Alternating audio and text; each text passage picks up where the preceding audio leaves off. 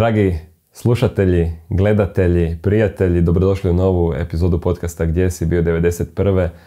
u kojoj je gost vrlo zanimljiv dr. Mladen Predrijevac. To ćete ubrzo i sami saznati. Evo, e, više puta spominjan u stvari e, kroz podcaste Gdje si bio 91. Spominjali su ga pripadnici Bojne Zrinski i prvog hrvatskog gardijskog druga. S njima je išao zaista u najteže i najizazovnije zadaće. E, uvijek tu uz njih, spašavajući njihove živote, nerijetko u minskim poljima. E, bilo je zaista puno situacija, nekih ćemo se e, spomenuti, od e, Kupresa preko Dubrovnika, južnog bojišta do šatora i na koncu Oluje koja je bila, možemo to tako reći, kruna njegovog ratnog puta. A jako mi je drago što mogu zahvaliti na smozorskog podcasta Sandajal Boutique hotelu, odnosno restoranu Botanist, na Zagrebačkom laništu, evo e, vrhunska klopa, vrhunski ljudi. Restoran Botanist nudi širok izbor jela od domaće kuhinje na moderan način do onih s roštilja na drveni ugljen. Svatko će ondje naći nešto za sebe, a po meni najveći adut je veliki dvorišni prostor u kojem se mogu igrati djeca. Osim za obiteljske, botanist je prikladan i za poslovne ručkove i domjenke te proslave za više desetaka uzvanika. Uz njega nalazi se i Sundial Boutique Hotel kojem bi kao glavni adut istaknuo poziciju jer se nalazi na samom ulazu u grad kada stižete s Lučkog, svega stotinjak metara od rotora. Evo, nakon kraćeg uvoda, a nakon godinu dana dogovaranja, evo, doktore Mladene, hvala što ste došli. Evo, rekao si da ćemo biti na ti, onda ću. Hvala što si došao, velika mi je čast, evo, rekao sam ti prije početka snimanja, baš sam uzbuđen. Mislim, hvala na pozivu, e, jer ja sam jedan od onih koji prate tvoj podcast i ovoga, Prvo je čast biti tu zato što zoveš ljude s terena, to je jedna od stvari. Dakle, pretpostavljam da ne može doći bilo tko, nego dolaze ljudi koji su ovoga, od svojih suboraca na neki način preporučeni, jel da? I zbog toga, je, zbog toga mislim da je veliki broj ljudi je tvoj stalni pratitelj. Jel? Eto, hvala još jednom na e, pozivu i hvala našem sponzoru, e, jer je on zapravo bio član Bojne Zrinski Znamo se dugo godina i hvala Bogu ima izvrstan posao sad, tako da smo mu svi gosti. Evo, moj, e, ja sam sa sinom prije, sreli smo se, bili smo slavio rođendan, ondje nisam bio do tada. Išao sam na neviđeno na preporuke. Da, da. I 40 ljudi je bilo uzvodnika na tom prvom rođendanu Zrinovom, svi su bili ono oduševljeni da tako mjesto postoji u gradu Zagrebu. Jer zaista je unikatno, evo, još jednom e, sve preporuke, a kad smo već kod, kod darivanja, sponzor nas je evo, darovo sponzorstvom, a ja ću tebe darovati jednom majicom koju dobiju svi e, Evo, Hvala. gosti moji za uspomenu na gostovanje. Izvrsno, zahvaljujem. Evo, nadam se da ćeš i s ponosom, da. Neću samo ja, nego već imam dosta zainteresiranih za te majice, a onda će oni nekih kupe, a hvala Može, na, evo, na webshopu su majice, dukse, ima dosta sadržaja, evo uskoro dolazi novi motiv, jedan na majice i crne i bijele će biti jedna odlična fotka ratnog e, fotografa Željka Gašparovića iz Pakraca. Znači grafit je bio Hrvati se nikog ne boje mhm. i geleri su ga pošpricali od granate, tako da je ono mrak. U kolekciji majica Domovinski rad HR svatko može pronaći nešto za sebe. Odjeni dio povijesti, nosi ga s ponosom i time podrži moj rad. Poveznica na webshop nalazi se u opisu videa. Kolekcija je dostupna i na policama Atom Army Shopa u Maksimirskoj ulici u Zagrebu. Na web shopu možete za sebe ili nekog drugog pronaći i dukserice s najpopularnijim motivima. Hvala na svakoj kupnji. Ha, ništa, počet ćemo s ovim. Gdje si bio 91. Da, da, dobro, svi znamo šta se događalo 91. A kako smo ušli zapravo u te strukture i uopće u nekakav ratni sanitet. Zapravo je nas nekoliko liječnika preko profesora Kostovića ušlo u sanitetski stožer. Na njegov poziv odmah smo se odazvali. Dakle, tu je bilo, došao sam zajedno sa e, Darkom Hudijem, mojim prijateljem koji je danas neurokirurg u, u Dubravi. Eto, nažalost, pokojni Ante Čorušić, eto, jučer smo ga pokopali e, nesretnim slučajem, a zajedno smo bili u tom tim prvim mjesecima sanitetskog stožera, koji ja bih rekao bio zapravo jedna od bolje organiziranih sastavnica obrane. Zašto? Zato što i u bolnicama vlada nekakva hijerarhija, pa je tako i tu bilo jedan ustrojen jedan, jedan rekao bi, vojnički, vojnička hijerarhija, dakle to je bio general Prodan, a profesor Hebrang je zapravo kao ministar ratni to sve izvrsno vodio.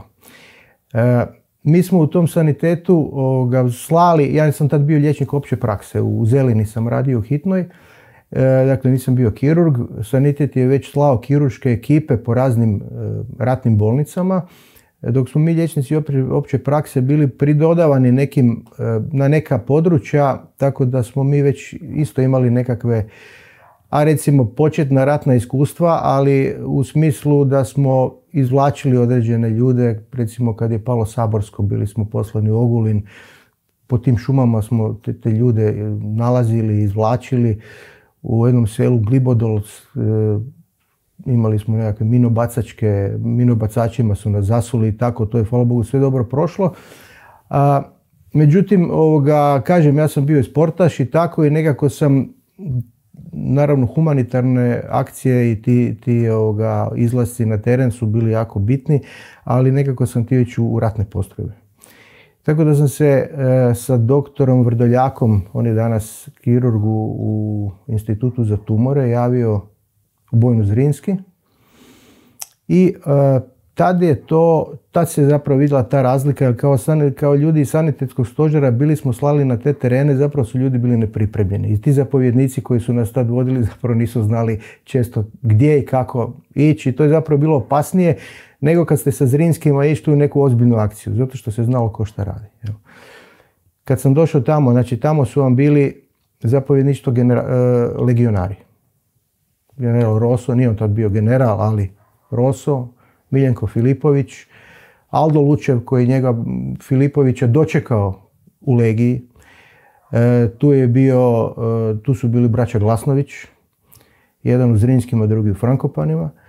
I e, bilo je tu još Legio Luketić koji nam je poginuo na južnom bojištu. Dakle, bilo je tu sigurno 7-8 legionara plus već ljudi koji su bili po po akcijama i već su imali bogato iskustvo. Dakle, Bojna Zrinske prije nego što sam ja došao k njima već bila u, Vukovaru. Bili su u Gospiću, zarobili su ovog generala Krstevskog. Dakle, oni su već, ti su ljudi koje, koje je Filipović obučavao, bili već ovoga, ratnici, pravi ko, ko, tko e, ne zna taj dio ratnog puta Bojne Zrinski podcast sa Jurom Granićem, neka pogleda, evo Jure. Da, Juka je bio naravno, Juka koji je ovoga, jedan, jedan poseban lik. Doći će opet. da, opet. Da, da, Čovjek koji je imao strahovitu fizičku snagu. Strašno. mi smo, nama je nekakvu obuku borbenu, odnosno imali smo nekoliko ljudi koje, s kojima smo išli na treninge. To je bio Stipe Damjanović, on je bio rvač. On je 92. čak mislim rvao na olimpijadi. Dakle, olimpijac u rvanju, ali recimo Juku ne je mogu tuširati. Ako je, tu, su, tu su negdje bile, hoću reći, prirodno fizički livnjak koji je, koji je bio fizički strašno jak.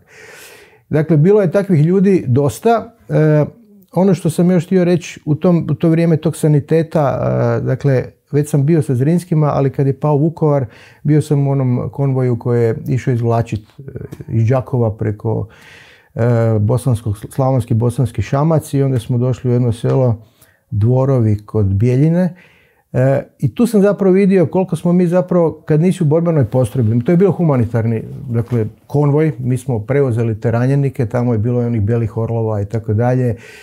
Krenula nekakva buka, kolegu Hudija su htjeli izvući iz auta, to je bilo opći kaos. E, mi, smo, mi smo to preuzeli te ranjenike i na povratku iz, iz, iz te bijeljine je zapravo došao još jedan dio ranjenika koji su bili najteže. Najteži ranjenici, dakle ljudi sa odljeđenim kičmama koji nisu mogli ni sjediti ni ništa. Mi smo ih u Brčkom sačekali, nas nekoliko kolega, Vladić, Ivan, ja. E, ostatak konvoja je otišao za Đakovo, tako da smo mi došli u Đakovo sa jedno 4-5 sati zakašnjenja. Znam da je Hebrang tada zvao i predsjednika Tuđmana, rekao imamo nestalih 3-4 doktora, tu se digla buka, međutim nije bilo ništa. Mi smo u Brčkom jednostavno dok su oni došli, dok smo mi njih, mi smo njih u autobuse na onim nosilima praktički stavljali na sjedala, dakle nismo ih mogli u sredinu. To je trajalo par sati i tad sam primijetio da su ti stanovnici Brčkog tad vidjeli, kaže pa šta je to naša armija napravila ovakve stvari. E, dakle mi smo došli tijekom noći 3-4 jutro u Đakovo, sve je to dobro završilo, ali kažem u tim akcijama vidite, bar se meni činilo puno draže bi bio sa borbenim postrojbama, sa oružjem i da se mogu i braniti ako vas neko počne napadati. Jel? Da, da, da. Da, bili ste izloženi... Pa da, bili su to oni slastičari, smo ih mi zvali, evropski promatrači, sve je to dobro, ali kad, divlja, kad rulja da. počne divljati, onda je to problem. Jel?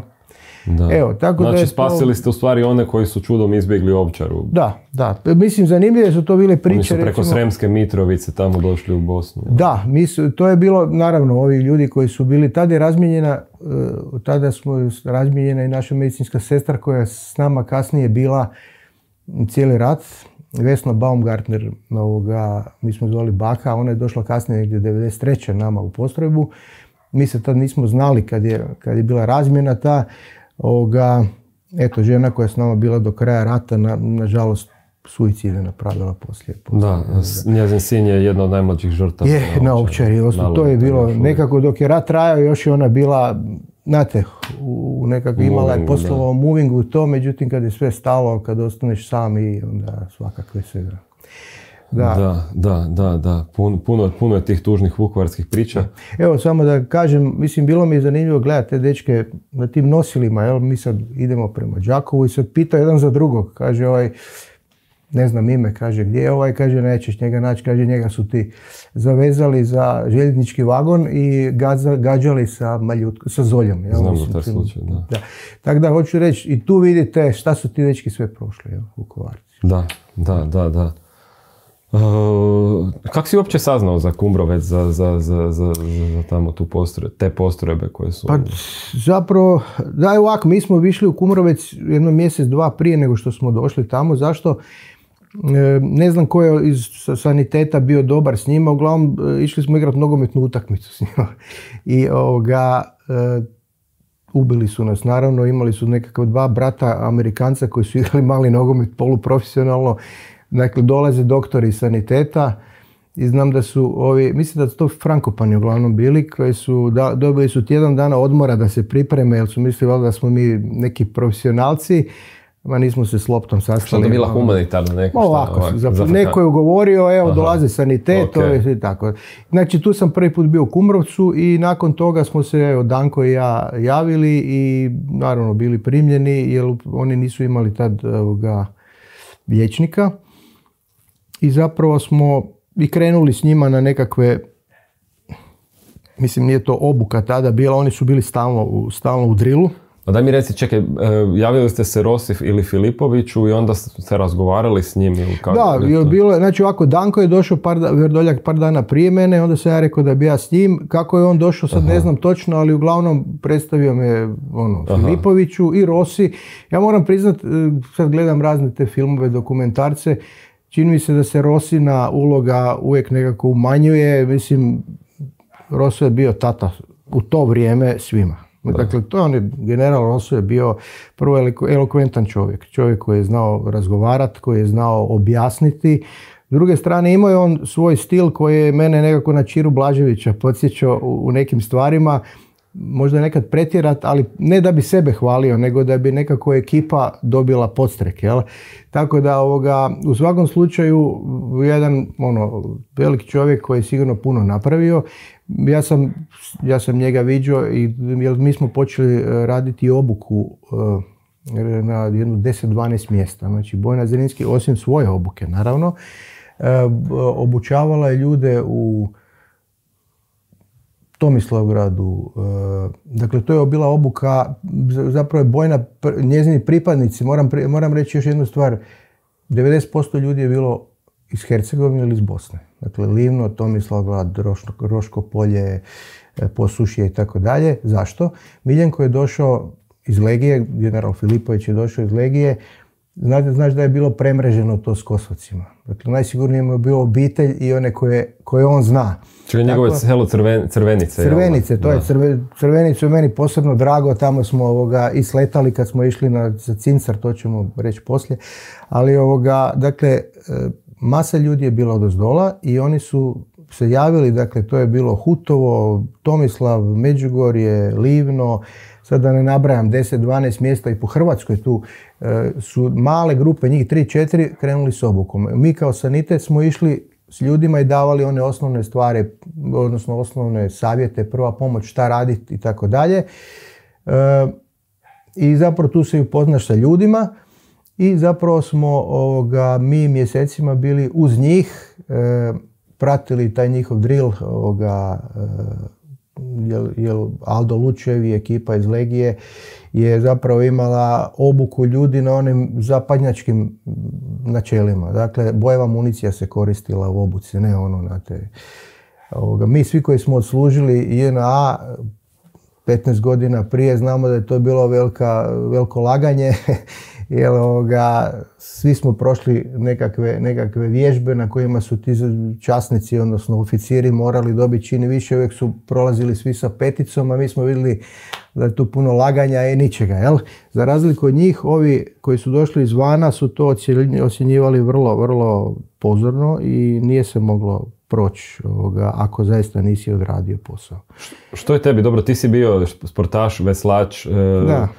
Fizički, fizički nije, mislim, e, ja sam s njima isto išao na obhodnje i tako dalje, ovoga, to nije bio problem, problem je bio, dakle, i mi smo pucali s njima, dakle, oružje upotrebljavali, e, ja sam imao, ja sam imao kalašnjikov e, i njega sam nosio cijelo vrijeme, imao si pištolj, ali smo pucali s onim snajperima 12-7 roving i tako dalje, to je više bilo ono, niko, niko nas nije tjerao da mi to radimo, ali kasnije smo išli u onu obuku padobransku i tako, dakle obišli smo, to sam ja htio, radi se o ovome, Miljenko Filipović je profesionalac koji je, dakle ni u Legiji nije liječnik išao vrlo blizu e, bojišnici. To je bila moja odluka da idem, da budem s njima, ovoga, jer sam znao, e, radi se o tome da imate razne vrste terena. Ako je recimo teren takav da ja vidim gdje se, gdje se, advija, e, gdje se odvija akcija.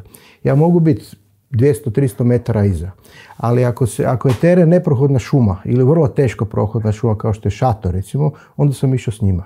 Jer dok bi ja došao do tog ranjenika, vjerojatno bi bilo kasno. Jel? Dakle, jer nekad je izvlačenje trebalo sat, dva, od točka do, točke dodira do sanitetskih kola.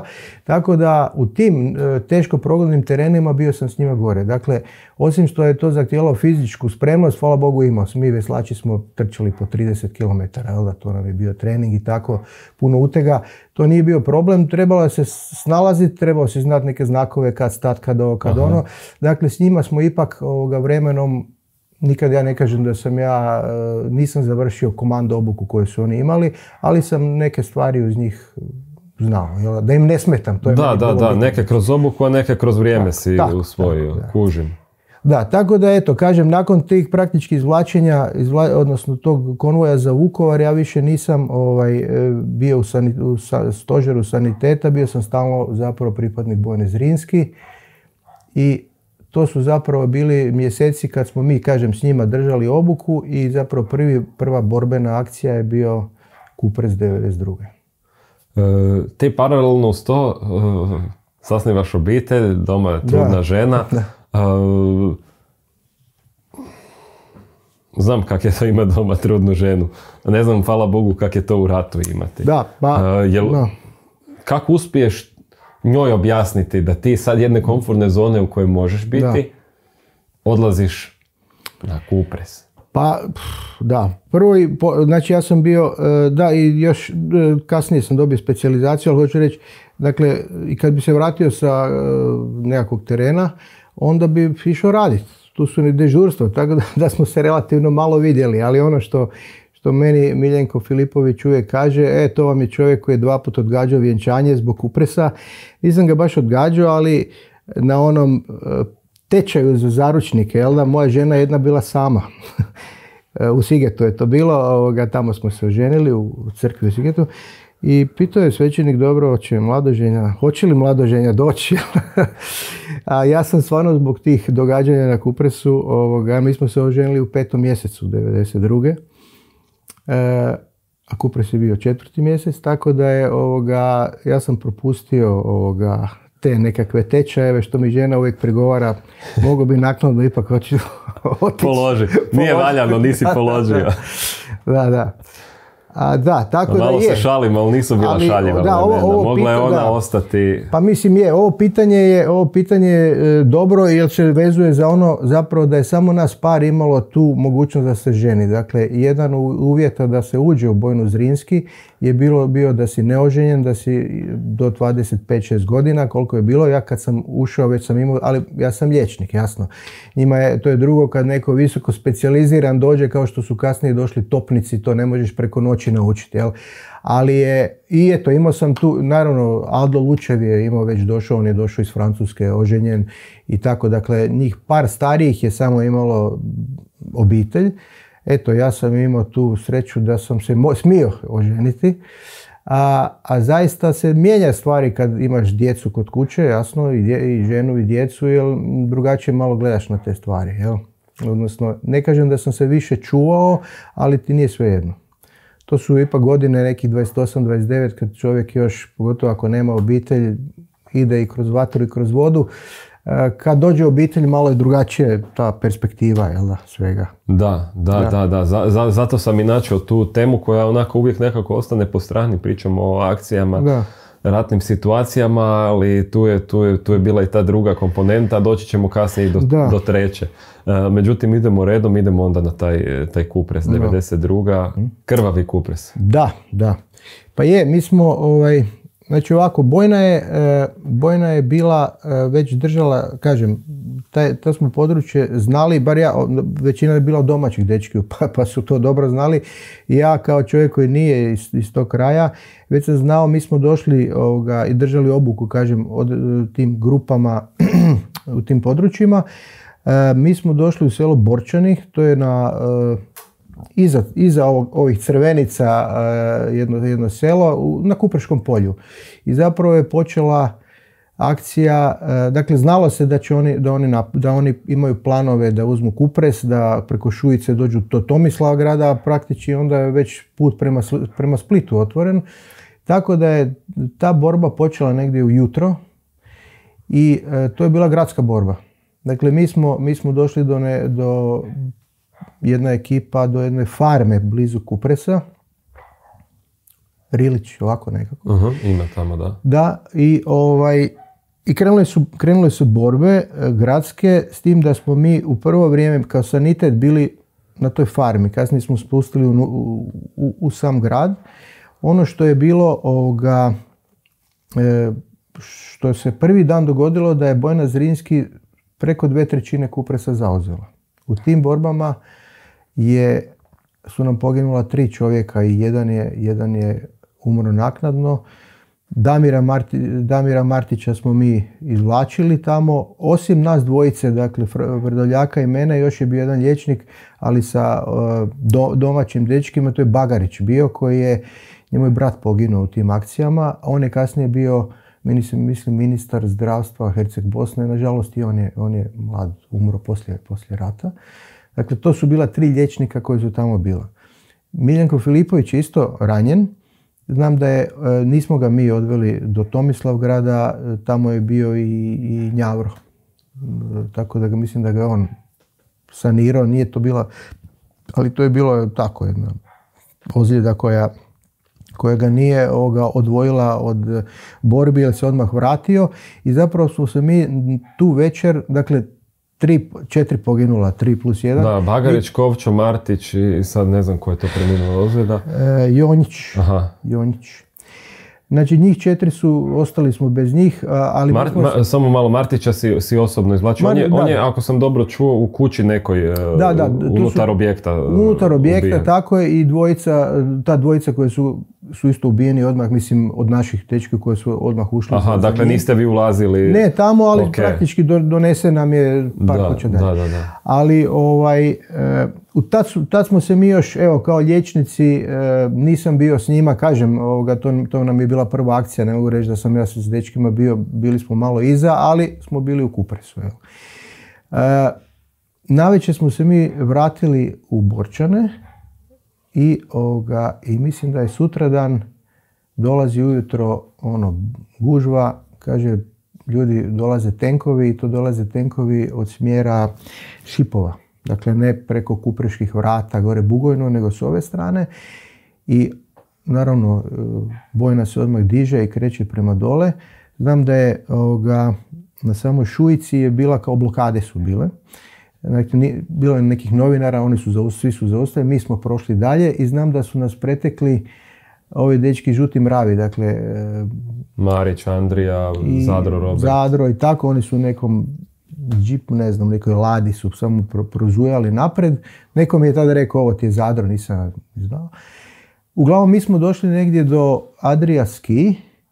To je ono koliko se ja sjećam. E, ono što je nama bio problem, mislim nama, što je bio Miljenku problem, 12 ljudi nam je ostalo u ovom dijelu Kupresa, e, tamo gdje su tenkovi, e, tamo gdje su došli... Praktički presjećani u okruženju, da. Tako je. Međutim, oni su napravili ovoga strašan posao. Oni su zapravo zaustavili tenkove. Mi smo čuli, dakle mi smo bili tu, više ne znam, to je, to je bio u jednom trenutku stvarno, u, ja znam da smo mi ušli, u, znači kad smo krenuli prema Šujici u samom Tomislavgradu, je došlo, došlo je Vukovaraca, došlo je ljudi, ne znam zaista svi, ali bila je masa ljudi i tamo još po Tomislavu, Zrinski su, mi smo odmah krenuli dole, ovi su naknadno, došli su i Frankopani, koliko, ne koliko znam, nego znam da je bio zarobljen i Davor e, Glasnović. Ali ovaj, e, u svem tom kaosu mi smo otišli tamo i onda smo čuli da je neko zaustavio tenkove. Mislim da su oni spasili jako puno ljudi, upravo tih 12 koji smo mislili da su izginuli. To je bio Aldo Lučev, to je bio e, ovaj, e, bio vam je, bio ti je, čekaj, e, Ante Vukadin, bio je Čiber, Ivan Radoš, od ovih, bilo je 10-12 naših i bilo je, mislim, još domaćih nekih Eto, pa baš sam ti rekao sad prije snimanja da bi volio Vukadina Vukadin pa, je... Pa ćemo, pa ćemo i tu, Probaj, tu da, komponentu. Da. Ovaj. da, ono, evo, ne, ja, meni je, ja sam poslije, ali ono, naš, i njihova priča, mislim, oni su stvarno jedva prošli. Jer tenkovi su pucali na ljude, to je nevjerojatno. Da, znaš, kad tenk pogodi čovjeka, čovjek eksplodira. Vukadinu je, kaže, pala mi je ruka kraj mene, samo ruka, još prsti malo rade, ovoga, čovjeka više ne možeš naći. Dakle, to su takve. Oni su uspjeli zaustaviti, time su zapravo omogućili, jer mi kad smo došli do Šujice, tu su ljudi odlazili sa neispaljenim ovim zoljama i svi, dakle nisu vjerojatno nikad ni pucali, to su bili domaći momci koji još nisu ni bili obučeni i to je nažalost ovoga protiv te tehnike se nije moglo. Jel? Čekaj, vi ste zapravo na povišenom, kod Adria Skija gledate sve, sve što se zbiva otprilike. Ono... Ali, to, ali tamo su borbe, ove, ovih naših 12, to je olovo ili ovaj koji je dio gore e, Kupresa, e, oni su se povukli prvo, prešli u grad, tamo su opet imali dodir sa ovim domaćima, to su prošli bez gubitaka i onda su se kroz nekakvu pa nekakav potočić ili ovako puzajući zapravo izvukli. Čućemo, čućemo to i tu, to tu treba priču. Njih čuti, Aldo je nažalost spokojni, ali ima još živi, hvala Bogu, pa, da. pa ćemo... Da, tako da e, i onda je to u principu je, tu je još bilo ovoga, e, dakle mi na kraju se uspostavila linija kod, e, kod e, Malovana, kod donjih Malovana i to je to, to je ono što, što sam ja doživio na Kupresu, jel?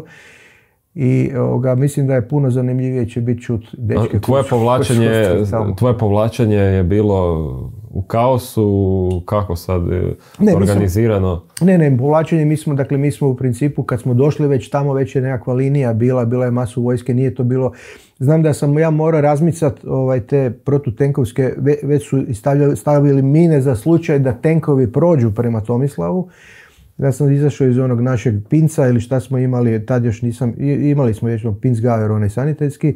On je na naslovnici podcasta. E, da. I ja sam ga, ja sam onda izašao van, uh, Iko Vrdoljak nam je bio vozač, ovoga, ja kažem, Miko, slušaj, ako ovo eksplodira, daj bar ovaj prst po nesi ženi da negdje stavi ovoga. To je bio crnjak tada, ali se bila je takva situacija. Ne?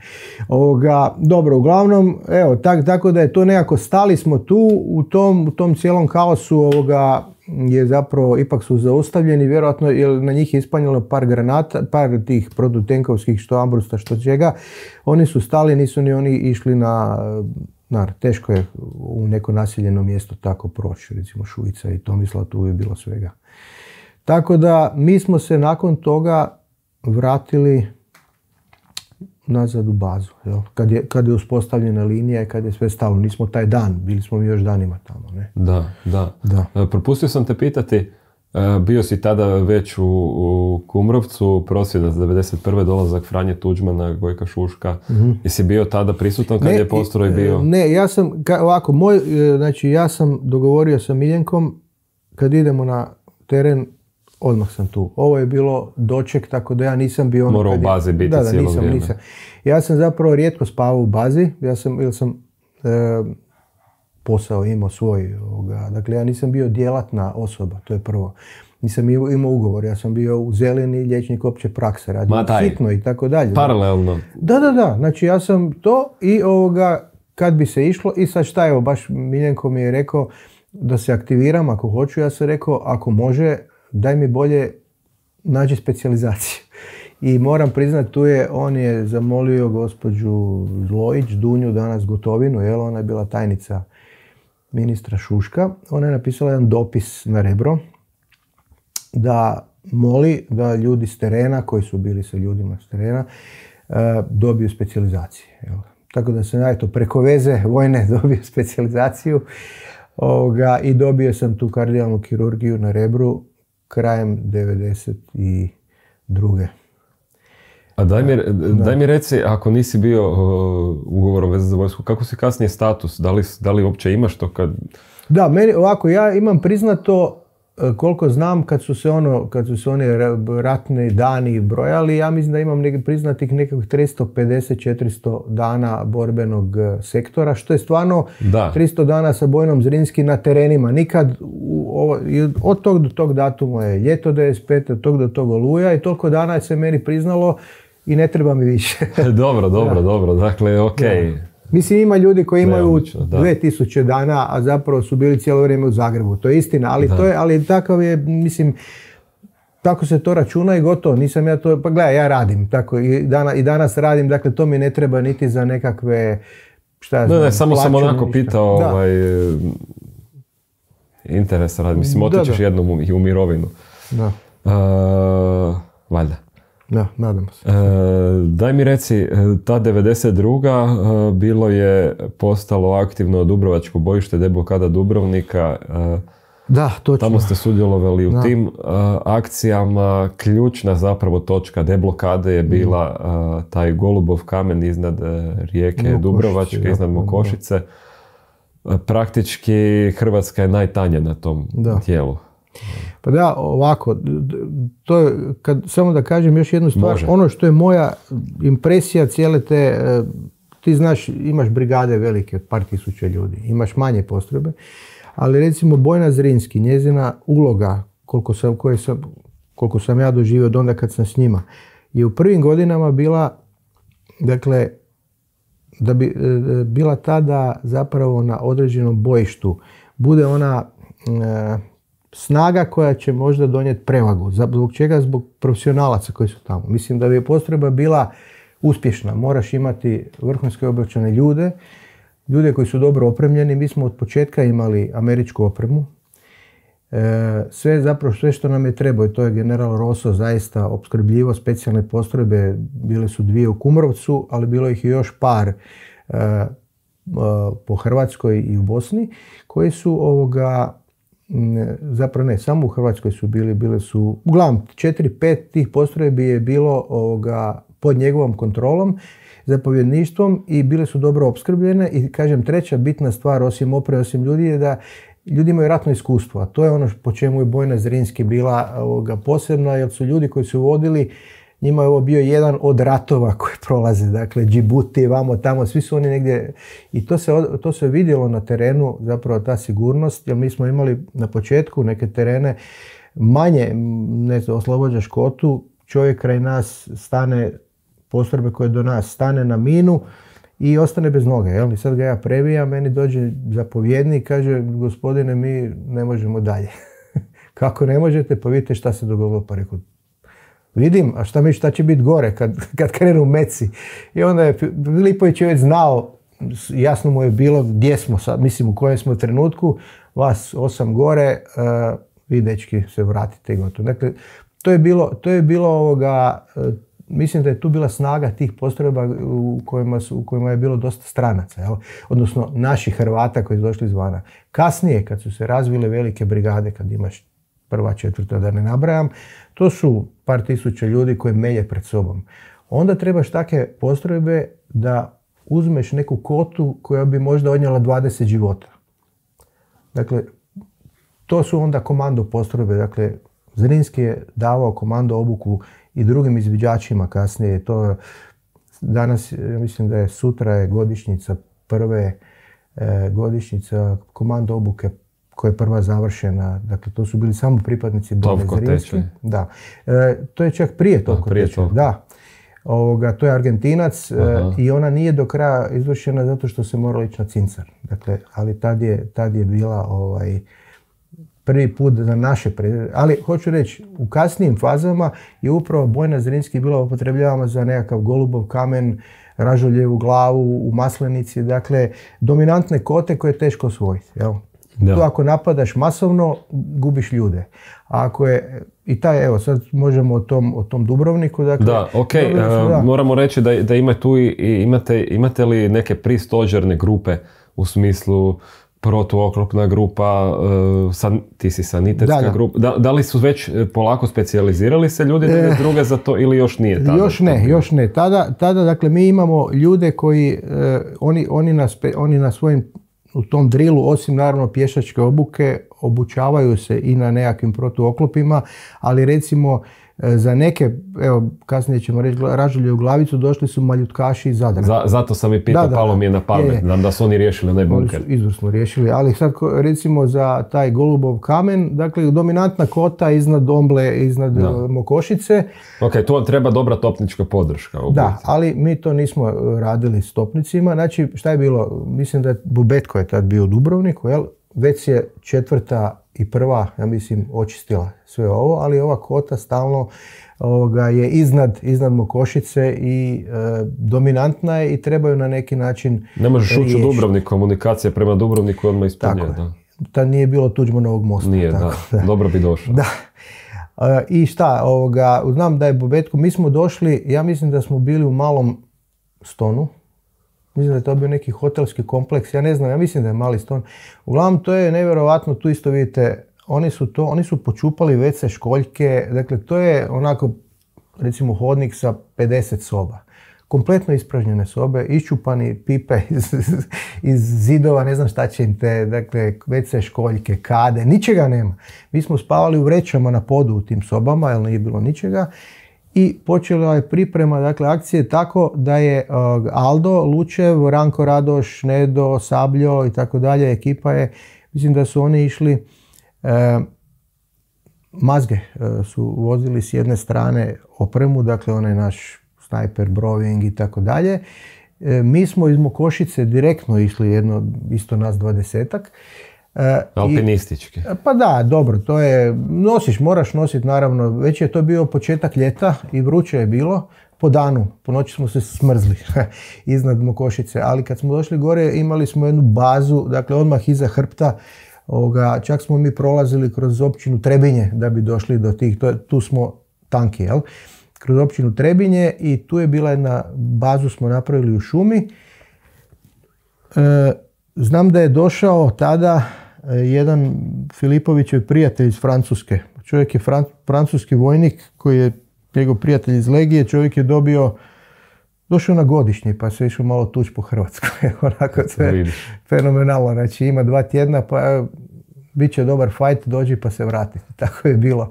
Uglavnom, nakon, e, ono što je bitno, jedno tjedan dana je bilo, možda tjedan, ali pet dana su bile pripreme za, za osvajanje Za, za to golubovog kamena, jer je zaista dominantan. I ti su dečki ovoga, se privukli na, uz njihove bunkere, valjda na jedno 50 metara, 100, ležali su u travi zapravo par sati dok nije krenula akcija. To je bilo iznenađenje i to je riješeno u roku par minuta jer su ovoga, digli se i samo šarali. Mislim da je njih dvojica poginula neprijatelja. Ovi su se razbježali i zapravo Golubov gamen je bio osvojen. Ali odmah iz pozadine je krenula minobacačka paljba. Dakle, mi smo ovoga, e, mi smo u jednom trenutku, znam da je bio Filipović kraj mene, ne znam da li je bio Nedo Radoš, e, e, ne znam ko je bio, naš 4-5 smo bili kraj jednog suhozida, krenuli su nas tući sa onim 120-icama, ove minobacačima. Ne?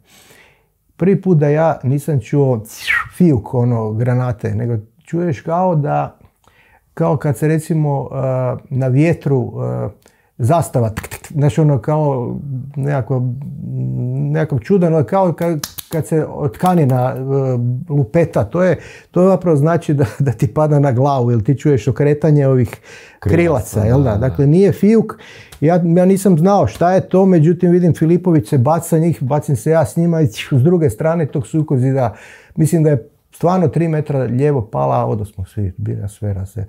I ovoga, naravno onda smo, onda smo krenuli dole, Golubov kamen je osvojen, ali u principu ga ne možeš držat. I znam da smo u tom, pri tom povratku smo se, nismo se spustali direktno na Mokošicu, nego okolnim putem gdje su mazgama donijeli svu opremu. Zmija je nevjerojatna količina. Mislim, broj zmija na svakom drugom kamenu sa vihne zmije tamo, to je ono kameni, kameni dio, uh, sunčaju se tako. Po noći jako hladno bilo, ali uh, po danu vruće i to je bilo zapravo akcija koja ono iz udžbenika što bi se reklo, ali da bi se zadržalo mora se i pozadina uzeti. To je četvrta brigada na kraju, da. jedan, dva, tri uzela, mi smo se uz, vratili. Uz nemale žrtve, da. Da, nažalost, evo, to je tako, ali ovoga, eto, u takvim akcijama recimo priprema i iskustvo je jako bitno. Tu je recimo Luketić, pokojni, on je isto na južnom bojištu kasnije poginuo, vodio tu akciju, to je čovjek isto legionar koji je ovaj, koji je to ovoga, na neki način uz Miljenka organizirao. Da, da, da, on je bio među tim pritajenima, to, da, da, to znam da, iz, iz jednog šuljevog članka o njemu. U biti kad je Dubrovnik taj u pitanju, uh, to, to što si ti rekao, to zadržavanje tih kota i sad čitam monografiju Tigrova, recimo kota neka, Zelenikovac. I sad ja bilježim te datume, aha, ok, 22.8. oslobođena kota Zelenikovac. Pa zabilježim si da imam za članak.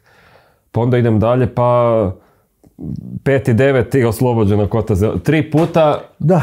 I, i, isto mjesto oslobađaš. Tako je bilo slučaj i s ovim golovim kamenim kamenom, čisto da se gledatelji ne zbune kako nešto može biti oslobođeno, pa da, da. Ja na Dubrovniku vrlo lako može biti oslobođeno, pa izgubljeno baš zbog tih. Je. Kažem, to je, mislim, bili smo tamo i to nema, nema nikakve sumnje, mislim, laganja, ima, ima i fotografija čak nekakvih. Imali ste dečke, to nije, tad nije bilo digitalnih, naravno, imali su one idiotice i to nisu kvalitetne snimke, ali, ali se vidi točno gdje smo bili, jel da? E, ima na jednoj fotki, mi ležimo, taj Francuz, Miljenko, dok se spremalo Danko, Vrdoljak, e, pokojni Ljubo, Radoš i tako, ima to po tim monografijama. Možda u ovoj monografiji iz druga. Da, da, Budem potražio pa ću pokazati gledateljima. u biti, vrlo, vrlo puno tih gubitaka je na Dubrovačkom bojištu bilo tog tih gelera, ali i kamenja koje, koje leti po sve, na sve strane kad se mina aktivira na njemu. Je, e, tu, tu je bilo recimo ono što si re, pretpostavljam spomenuo da, nekakvih tvojih intervencija i situacija. Pa ovako, srećom, kod, ovako, kod Golubovog kamena jedini koji je dobio geler u tom, u tom granatiranju je bio kolega Vrdoljak, on je dobio geler tu na korinu šake, srećom, ništa posebno. Uh, jer mi smo se zaista povukli odmah kad je krenulo to bacanje. Oni su nas vidjeli s druge strane praktički tog recimo zatone, odnosno s druge strane omble. I ovoga, ali eto, tako da kažem, Golubov kamen je osvojen, ali u principu da bi ga se zadržalo moralo se i pozadinu osvojiti, a to je onda nakon par tjedana četvrta odradila. A je, to je da su na tom kamenu masa njih, ali to sam ja kao i ti čuo Aha, ne, nemaš izravno nemam, toga. Nemam, jer mi smo samo, znači, mi smo pozvani, odradili, vratili se. Kako to ide, ovaj, e, kak tebe dižu? Kak to, ti si, ti si na poslu i neko te nazove ili doma? E, ta nije bilo mobitela, jesi imao neki pager ili šta? Ne, bilo je, recimo, bilo je, znalo se, e, kad su akcije ovoga, bile planirane, onda se znalo, onda bi ja došao dan ranije, ali evo, evo mogu pričati pa se možemo kasnije, kasnije vratiti na to akcija Cincar. E, ali tad je to već bio zdrug. Hoću reći, drugi je bio ekstremno pokretan. Dakle, postrojba, i to su rekli drugi ljudi, kaže vi ulećete odmah u borbu. Dakle, inače, brigade dođu, pa te topništvo, pa znaš, gdje će biti sanitet. Ja sam išao sa Miljenkom ili sa Argentincem išao u zapovjedno izviđanja da vidim gdje ću izvlačiti eventualno ranjenik. To je kad je, to je kad je planirano, ali ima i neplaniranih stvari i to sam rekao s drugi kasnije, osim tih nekih kota koje je trebalo uzeti, bio često i interventna postrojba ako dođe do proboja kao što je, ne znam, Novigrad kod, u Maslenici bio ili i u Oluji smo trebali u slučaju da bude crvena zemlja ili tako dalje, treba biti helikopterski, ali hvala Bogu nije trebalo, četvrta i sedma su prošli. Ali recimo eh, za, za taj cincar, prvi jedanesti, svi sveti. Ja se spremam, imam planiran dan, znači dignem se, odemo u crkvu, odemo na groblje, odemo na ručak svi kod roditelja, zovu osam, dolazi, ja se obučem, rakitije e, e, na helikoptere u ovoga, Lučko, Crvenica već oko 11, pola 12, no iznad, Kupre, iznad Kupresa smo bili u jedan sat popodne. Dakle, u 4-5 sati mi smo, to je, to je bila ono, ovoga, to je bila brzina kojim je drug mogao, zato što smo imali i helikoptere i sve, kamioni, ovo je došlo te kasnije, naši, ali, ali mi smo, ljudi su mogli biti brzo. Dakle, mene su par puta tako zvali, ali obično su ove akcije bile takve da je planirano, dakle ja idem sa, oni idu s kamionima, ja idem sa svojim sanitetom i tak dalje. E, šta Šala Bahter kaže sad nakon Golubovog kamena? Nakon Golubovog, e, samo znam da je ono, znači šta je bilo, to je, e, to ja nisam ni znao dok mi dečki nisu rekli, kaže pa mi smo se popunjavali 92. Dakle, kraj 92. ove akcije su napravljene, oženio sam se fino, rodila se e, kćerkica i e, dobar dio dečka... I na specijalizaciju I na specijalizaciju sam krenuo, s tim da smo dogovorili da ovaj, svaki put kad mi Miljenko zove, ovoga, ja sam slobodan, jasno. To je, nije tu bilo nikakvih problema, jasno. Kraj 92. Ovoga, dio ljudi odlazi koji su bili u ovim akcijama na na školovanje, mislim vojno školovanje, ali dolaze ljudi iz nekih drugih postrojbi, kralj Tomislav, e, dakle Zrinski se popunjavaju.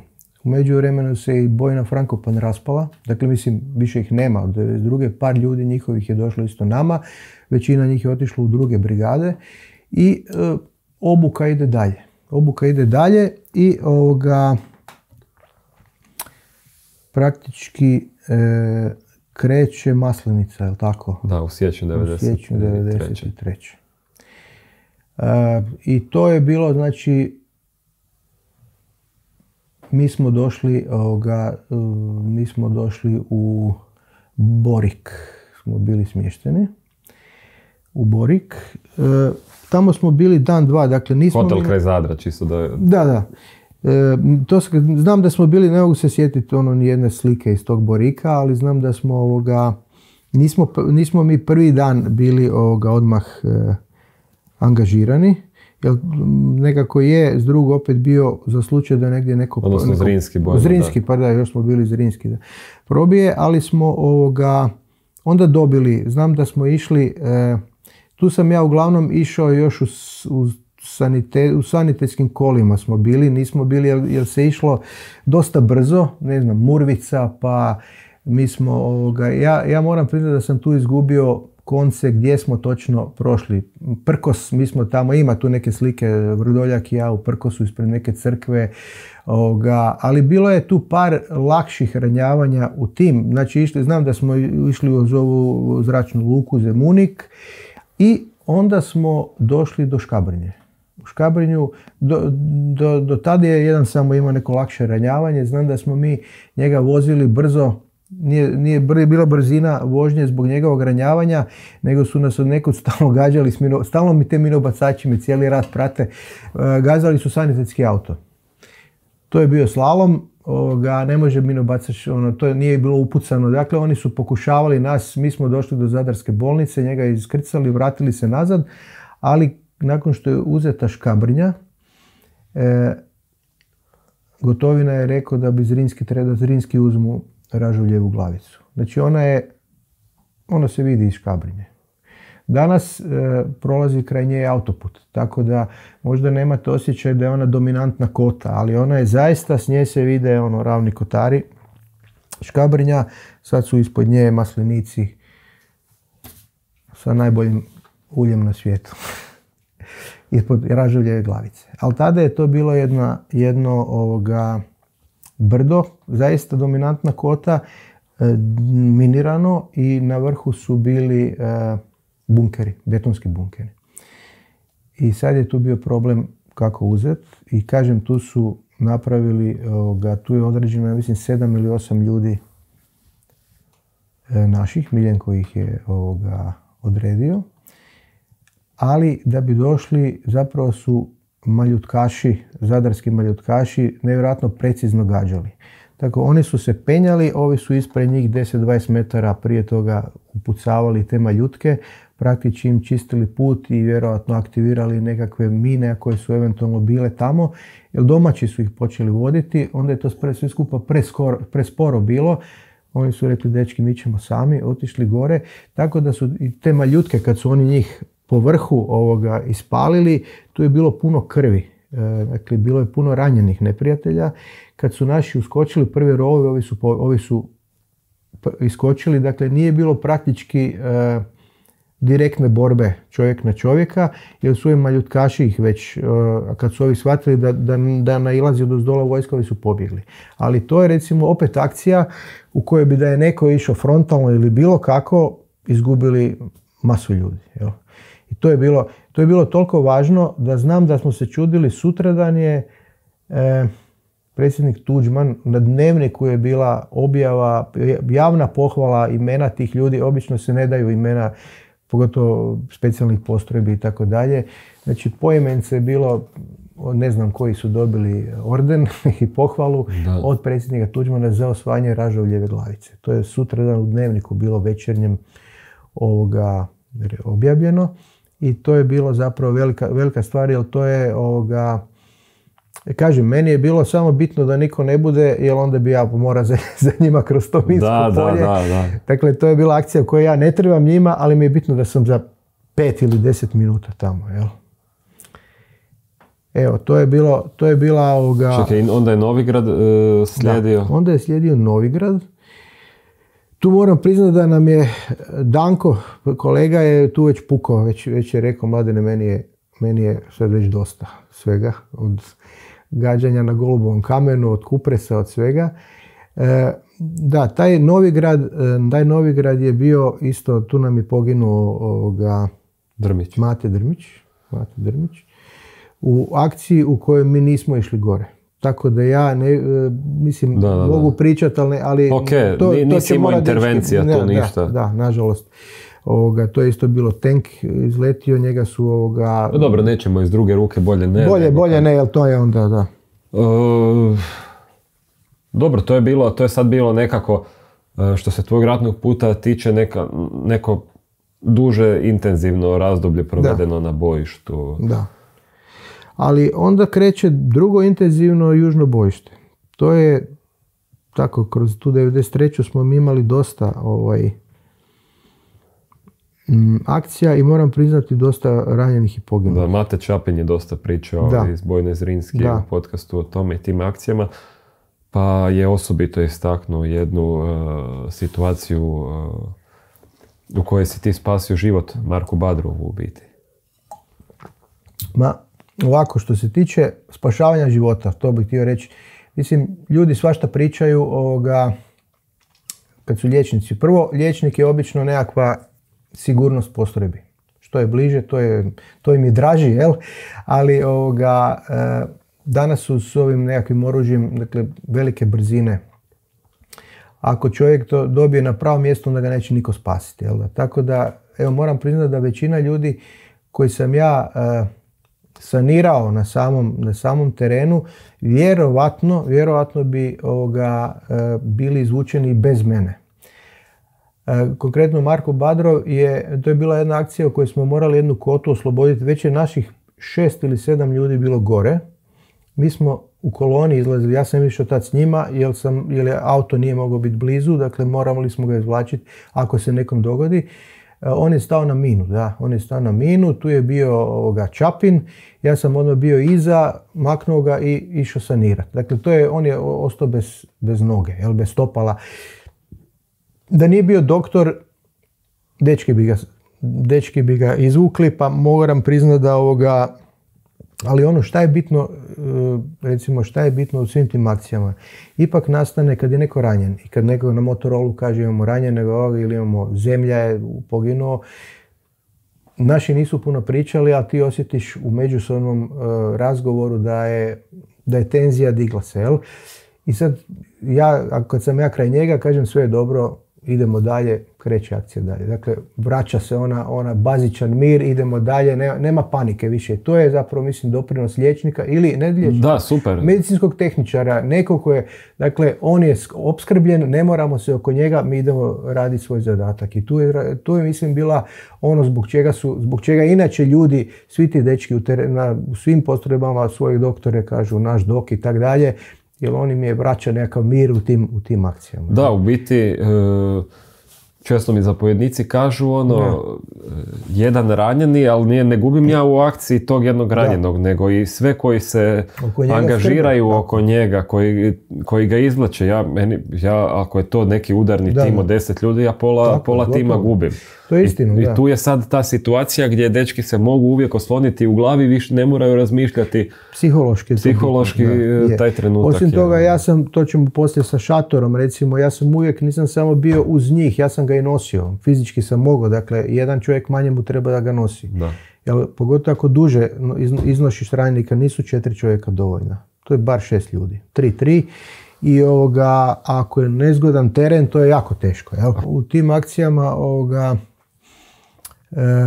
na južnom bojištu bilo je baš između, između ranjavanja, zapravo nakon ranjavanja Badrova i Ante Vukadina koje smo izvlačili ovoga, tamo s terena i koje, to je sve uspješno bilo. Mi smo sa tim našim Pinsgauerom, kad mislili smo da je zapravo čist teren, e, zapravo otkrili da je to minirano.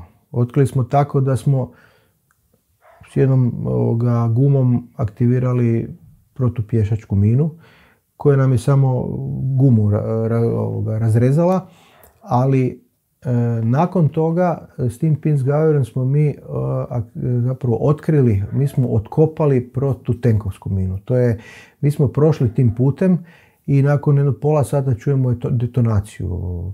I zovem Šaškora, Antu, Ante šta je, kaže mladene plati misu, vi ste, znači to su bile davno postavljene mine, dakle ispod onih čepova koji aktiviraju na pritisak minu su ušlo neko kamenje. Jednostavno čak i taj kotač Pinsgauera ga nije aktivirao.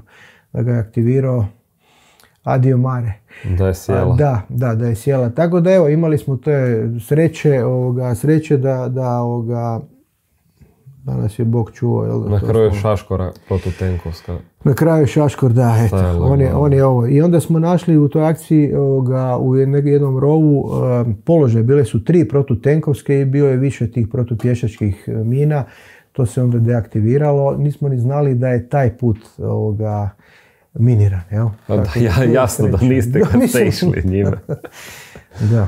Da. A, joj, svakakvih situacija je bilo. Čekaj, Vukadina si isto, dakle, iz Minskog polja izva, da, Vukadin je, Vukadin je isto, da. On je bio, to je bio nekakav naš transporter, ne naše, ne znam od koje postrebe je zapravo naletio na minu.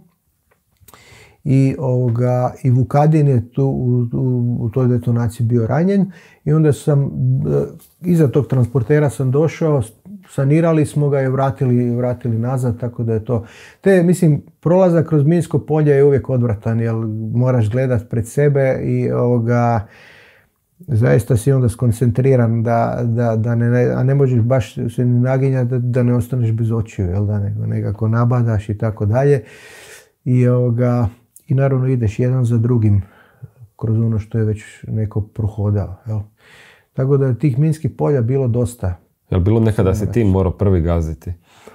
Pa ne, možda sam ja ili ja sam uvijek bilo s ekipom ili sam bio s njima u koloni. A kad bi došli do ranjenika, onda bi nas šestorica ga obično iz, iz, iznosili, jel tako da baš da sam ja... Onda još više moraš paziti. Pa moraš, da. Da, pričaš o tome sad ko ono, ovaj... Pa ne, mislim, gledaj, onda si skoncentriran na to, jel da imaš ranjenika, nosiš ga, imaš tu visiti infuzija njega, gledaš njega jel u redu, gledaš ispred i tak dalje.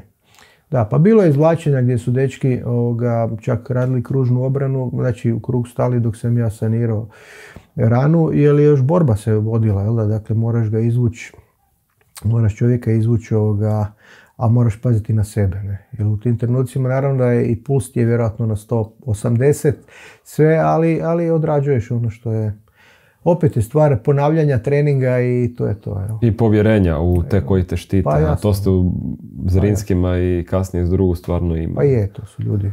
Koji je postupak samo što se tiče tog zbrinjavanja kad je, kad je ozljeda od minsko-eksplozivnih sredstava? Dakle, to je, to je sad e, neminovno e, kasnije u, kirurškoj ambulanti amputacija. Da, da. Ali šta ti sad radiš, šta ti možeš napraviti sad za prvu Da, ruku? U tom trenutku, dakle, zaustavljaš krvarenje, kojeg često i nema. Dakle, recimo, ako, ako nakon stajanja na tu paštetu ili na nešto ode dio stopala, prvo, reakcija organizma je da se krvne žile, e, odnosno da se, da se stegnu, jel? tako da nema tu nekad, znaš ono ko u filmu, šprica krv okolo, to je samo jedna masa, masa mesa ili tetiva koja vire, to je znalo visiti ovako, ja sam znao uzeti nož i odmah odrezati ono sve što, što visi, staviti mu gaze, zamotat, e, venski put, analgetik, Obično čak i nije trebalo ni odmah, ali obično bi stavio odmah i nekakvu infuziju i krećem u transport. Nije to velika filozofija.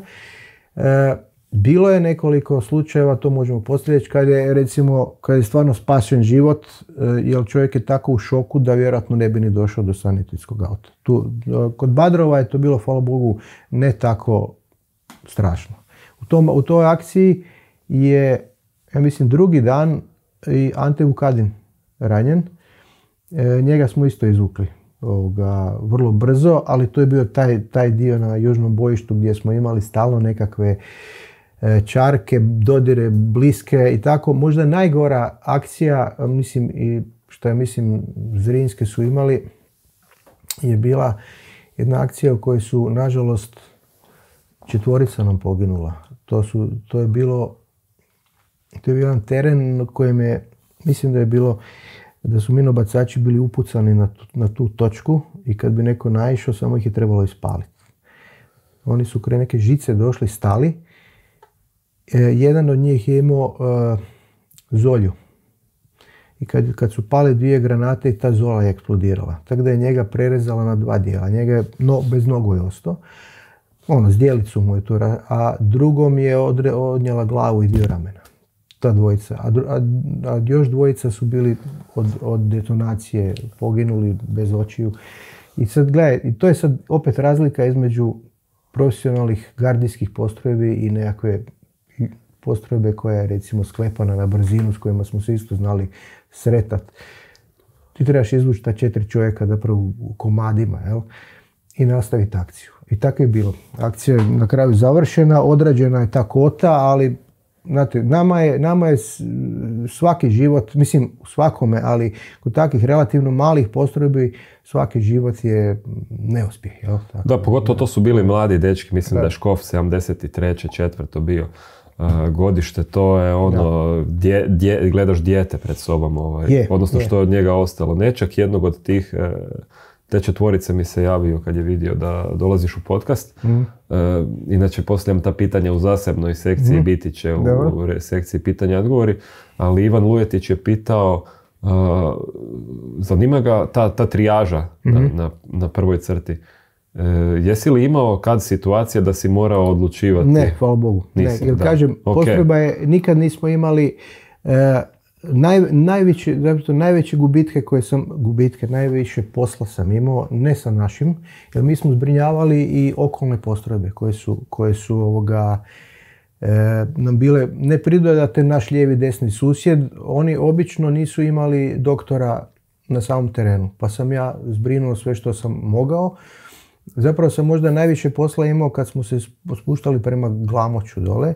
Sa 81. gardijskom. Ajde, doći ćemo i do To toga evo, da samo sad... da kažem, izvrsni dečki, ali to ćemo poslije pričati. Može. Uh, da, jer mislim, mislim da ne, cijelo vrijeme se zapravo pribojavaš te situacije gdje Da. ćeš morat E, bila je situacija u operaciji Una, radim sad film o ženama, rekao sam ti, e, radio sam i sa ženama iz druge brigade, to će ići iduće godine na HRT-u, e, gdje mi je doktorica Maja Rudelić-Zadorović rekla, ono, znaš, gledam ih i, i sad ona mora procijeniti ko je, ko je gotov, Da. i taj koji je gotov, on zna. Gledaju, gledaju i zna Da, da, da. je gotov, a ona pomaže ome i kaže i taj drugi Koji mi je. ima šanse, da. Koji ima šanse i taj drugi mi je Pa je, otišao. trijaža je... I kaže ono, to ja eto, to Bogu su hvala, ja stvarno nisam da. trebao nikad. Hvala Bogu, hvala Bogu. Jer je, evo ga kažem, potreba je tolika da ako je, evo, to je bilo naj, najveći broj ljudi, nažalost oni, njima nije bilo pomoći. Nije bilo Ta- tad, je da. Tad je bio ranjen e, e, upravo Križić, koji je nama e, Sponzor. I bio je, mm, ko je bio od ovih dečkiju, znam da, znam da smo ovoga, znam Bogut, Zoran Bogut i Bilić Pavlinović. Bilo je tih dečki, mislim, koji su tamo, koji su se mogli, ali više ranjenika, ali nikome, nažalost, ovima nije bilo pomoći. Jel? Kužim, kužim, je kužim, to- kužim. Ne, ne, ne, to je... u tim uh, situacijama na tom južnom bojištu uh, i gdje si zapravo na terenima koji su ti baš nepoznati, Da. blizu crte dodira, Da. ne znaš ni gdje je neprijatelj, možda svuda oko tebe. Uh, jel postojao taj strah, strah od zarobljavanja, strah od... Da li si osjećao strah? Ma ne, gle, strah, naravno da kad pucaju po tebi, nama te strah. Ok. A stalno, stalno su pucali, mi po njima, oni po nama, ali kažem, ja sam... Kako reguliraš taj Da, da, strah? pa, Ok. pa ja mislim da je to nekakva prirodna stvar ili neko će... Bilo je, evo, re- recimo, bilo je e, jedna situacija kad sam ovoga, isto poginuo nam je jedan e, čovjek od praktički je dobio srce, samo se savio, ali čovjek kraj njega, čovjek kraj njega je ovoga, se blokirao, potpuno je stao. To je bio novi čovjek, dakle nije on prošao, prošao prolazio obuku, ali ti, praktički prva akcija mu je bila s nama. Čovjek je stao, ja sam ga vratio nazad do auta, a recimo još jedan je bio zanimljiv slučaj, jedan čovjek koji je jako mlad. Mi- Mislim da Miljenko ih nije, čak je e, otac od tog čovjeka rekao, molim vas, primite ga, rekao je da će se ubiti ako, ako ne ode u postrojbu. I primljen je k nama. Čovjek je e, nakon e, te jedne akcije prvo dobio, dobio je krvave proljeve. I onda kad smo vidio, vidjeli smo da je zapravo dobio ulcerozni kolitis, nije ga dobio, on ga je imao genetski predisponiran, ali ti stresovi su ga totalno razvalili, čovjek je poslije se liječio i tako dalje, ali hoću reći, evo, to, to, je, to mu ga je pokrenulo. Da, ti stresovi se na razne načine to- manifestiraju. Ka, kak si ih ti...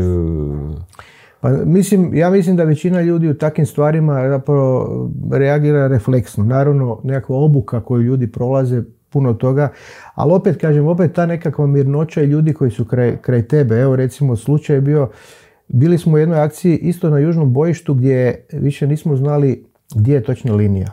I ovoga, slušaš na motoroli, mi napredujemo, ja znam gdje sam, ali čuješ, čuje se to po, po disanju.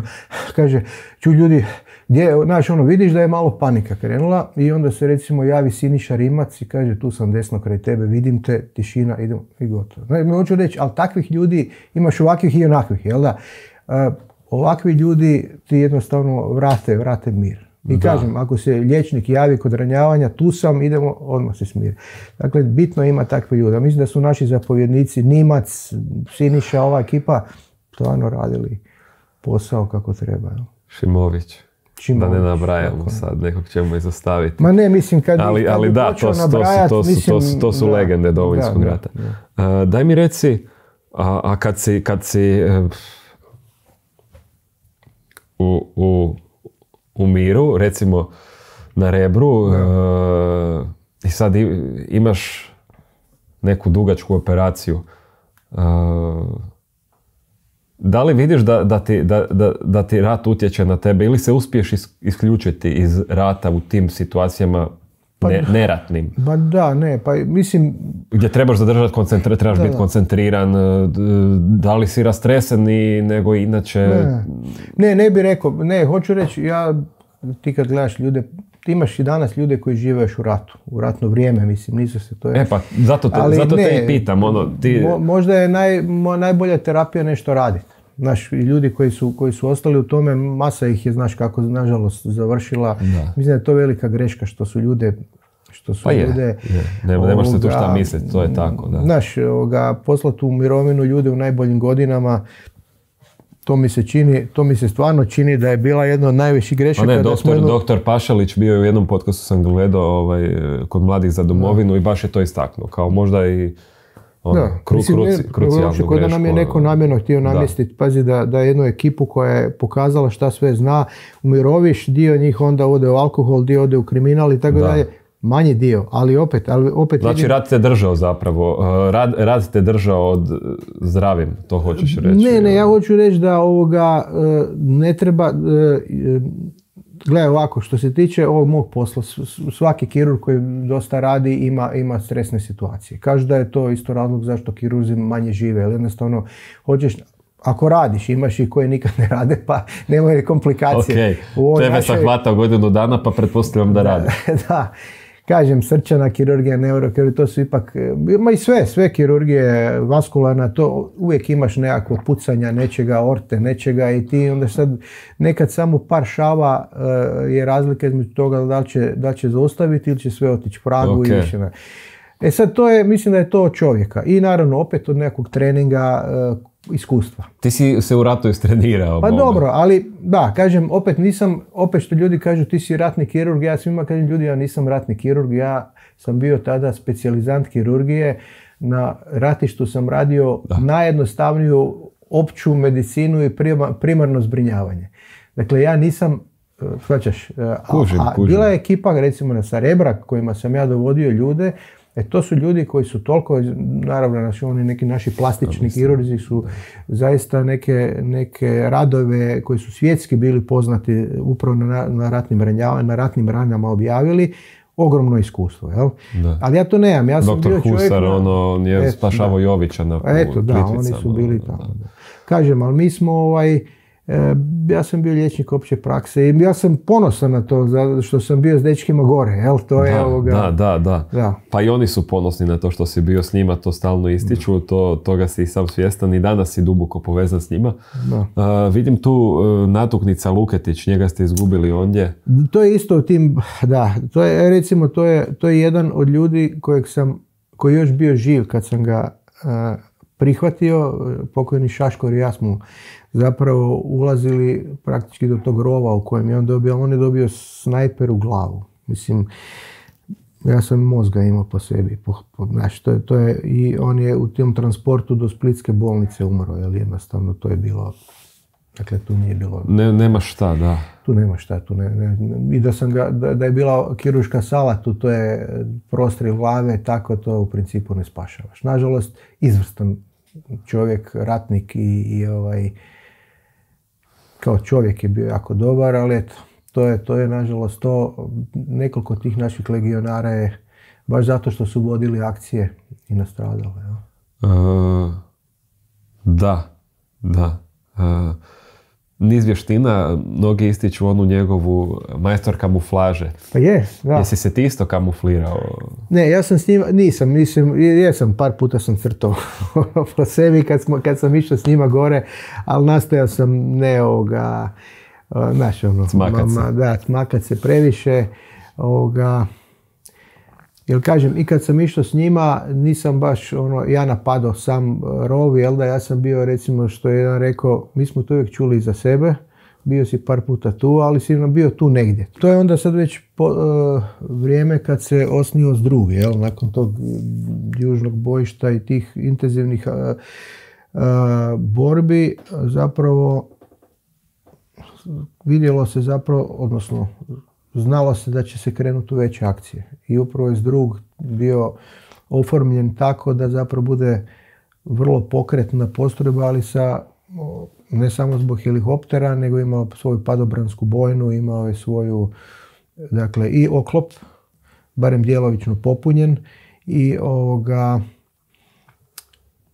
i to nam je došla ova osma lako jurišna, dakle Bojna Zrinski je bio osnova, a došli su još neke, neke postrojbe. Evo. I oformljen je drug, kao treba biti veličine brigade, iako ja mislim da on nije nikad bio sve ukupno više od tisuću ljudi, možda 700-800 ljudi. Da. Dakle, nije bio ono popunjen e, koliko je bilo zamišljeno, ali je funkcionirao sasvim dobro. I ovoga, da, i sad zapravo počinje Cincar, počinju je oslobodilačke akcije, na, e, potpisan je Splitski sporazum, ili tako?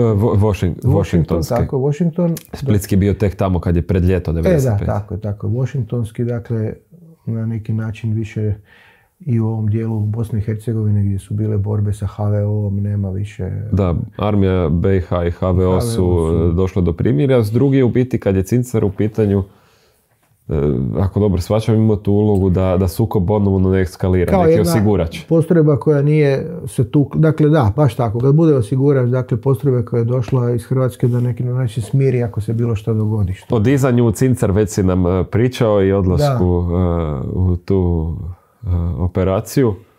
Evo. Da, kažem, brzo smo došli, ali ono što je isto, što je recimo stvar kad bi, što bi recimo ljudi u Hollywoodu jako, jako volili neke scene ima, to je kako smo se mi, dakle, kažem, krenuli smo s Lučkog, spuštamo se od Crvenice, od dosta dečki je bila iz Crvenica ili iz okolnih sela. Oni su već znali da mi dolazimo, jel? jer su već bili pripremljeni kamioni, tako da, sad gledam, izlazimo iz tih helikoptera imaš punu ratnu opremu, oružje, sve, a tamo te na proplanku čekaju majke ovako mole, jel? Pazi, dolaze sinovi, ko zna će se vratiti nakon toga. Tako da ono, zagrlja i kamioni to. Tako da je to bilo stvarno onako scene koje sam ja doživio, možda to dečki nisu, oni su, znaš, ono, vide majku zagrlju, sjedne u kamion. Da, nažalost, evo, naš Danko Bilić se nije vratio onda iz te, iz te akcije nakon ovoga u tom cincaru smo ovoga, mi zapravo išli nekako desnom, e, ja moram priznati isto, e, sad nakon toliko godina puno toga mi je mutno, jel? Jasno. Slušao sam nekog kaže Zanaglinska šuma, rekao Zanaglinska šuma i onda se vidim u našoj monografiji, ja u Zanaglinskoj šumi sa ekipom, išli smo pješke tada. E, I recimo moj vozač, što bi htio reći, recimo još jedna specifičnost. Svi ljudi koji su ovoga, na bilo koji način bili vezani uz, uz teren. Dakle, ne moraju biti padobranska bojna koja je bila nekakva probojna točka dečki koji su ovoga zaista bili stalno u drilu. Izviđači naši, Argentinčevi koji su bili. Ali evo recimo, mene je vozio tri godine Ivica Ištok. To je čovjek iz Livna. Dakle, vozač u sanitetu. Sad bi ti rekao čovjek koji, koji dođe, sa sanitetom pa negdje čeka kilometar ili tako, ma kak To je bio čovjek koji je bio prvi hrvatski redarstvenik. Onda je bio u Tigrovima, onda je bio uh, jednu godinu dana kako je iz Livna u njihovoj uh, neko, i onda je tek došao, dakle imao je vojno, ratno iskustvo, isto tako papac, to je pet, papci su petorica braće iz Stoca. Tri u HVO-u, dva u HVO-u. Dakle, kompletna ekipa je bila po ratištima Željko je bio vozač drugog saniteta. On je bio u četvrtoj brigadi od, prošao od Kruševa do Dubrovnika, sve. I onda je došao k nama i bio vozač e, doktorici Gabelici i Borkiju i ovoj drugoj ekipi jel, koja je bila s nama. Dakle, svi su imali oružje i svi su znali. Recimo, meni je to bilo jako bitno u tim terenima od Kupresa pa Livanjsko polje, Ivica Livnjak zna sve ko svoj džep. Dakle, prvo nećeš zalutat uh, Bilo je, bilo je situacija da su ljudi promašili liniju i zarobljeni ili ubijeni samo zato što su fulali par sto metara. Dakle, to se njemu nije moglo dogoditi. I ovoga, imate sigurnost jer znate čovjeka koji je prošao rat već prije. Jel? Dakle, svaki od tih dečki koji su vozili kamione i sve, svi su oni prolazili obuku.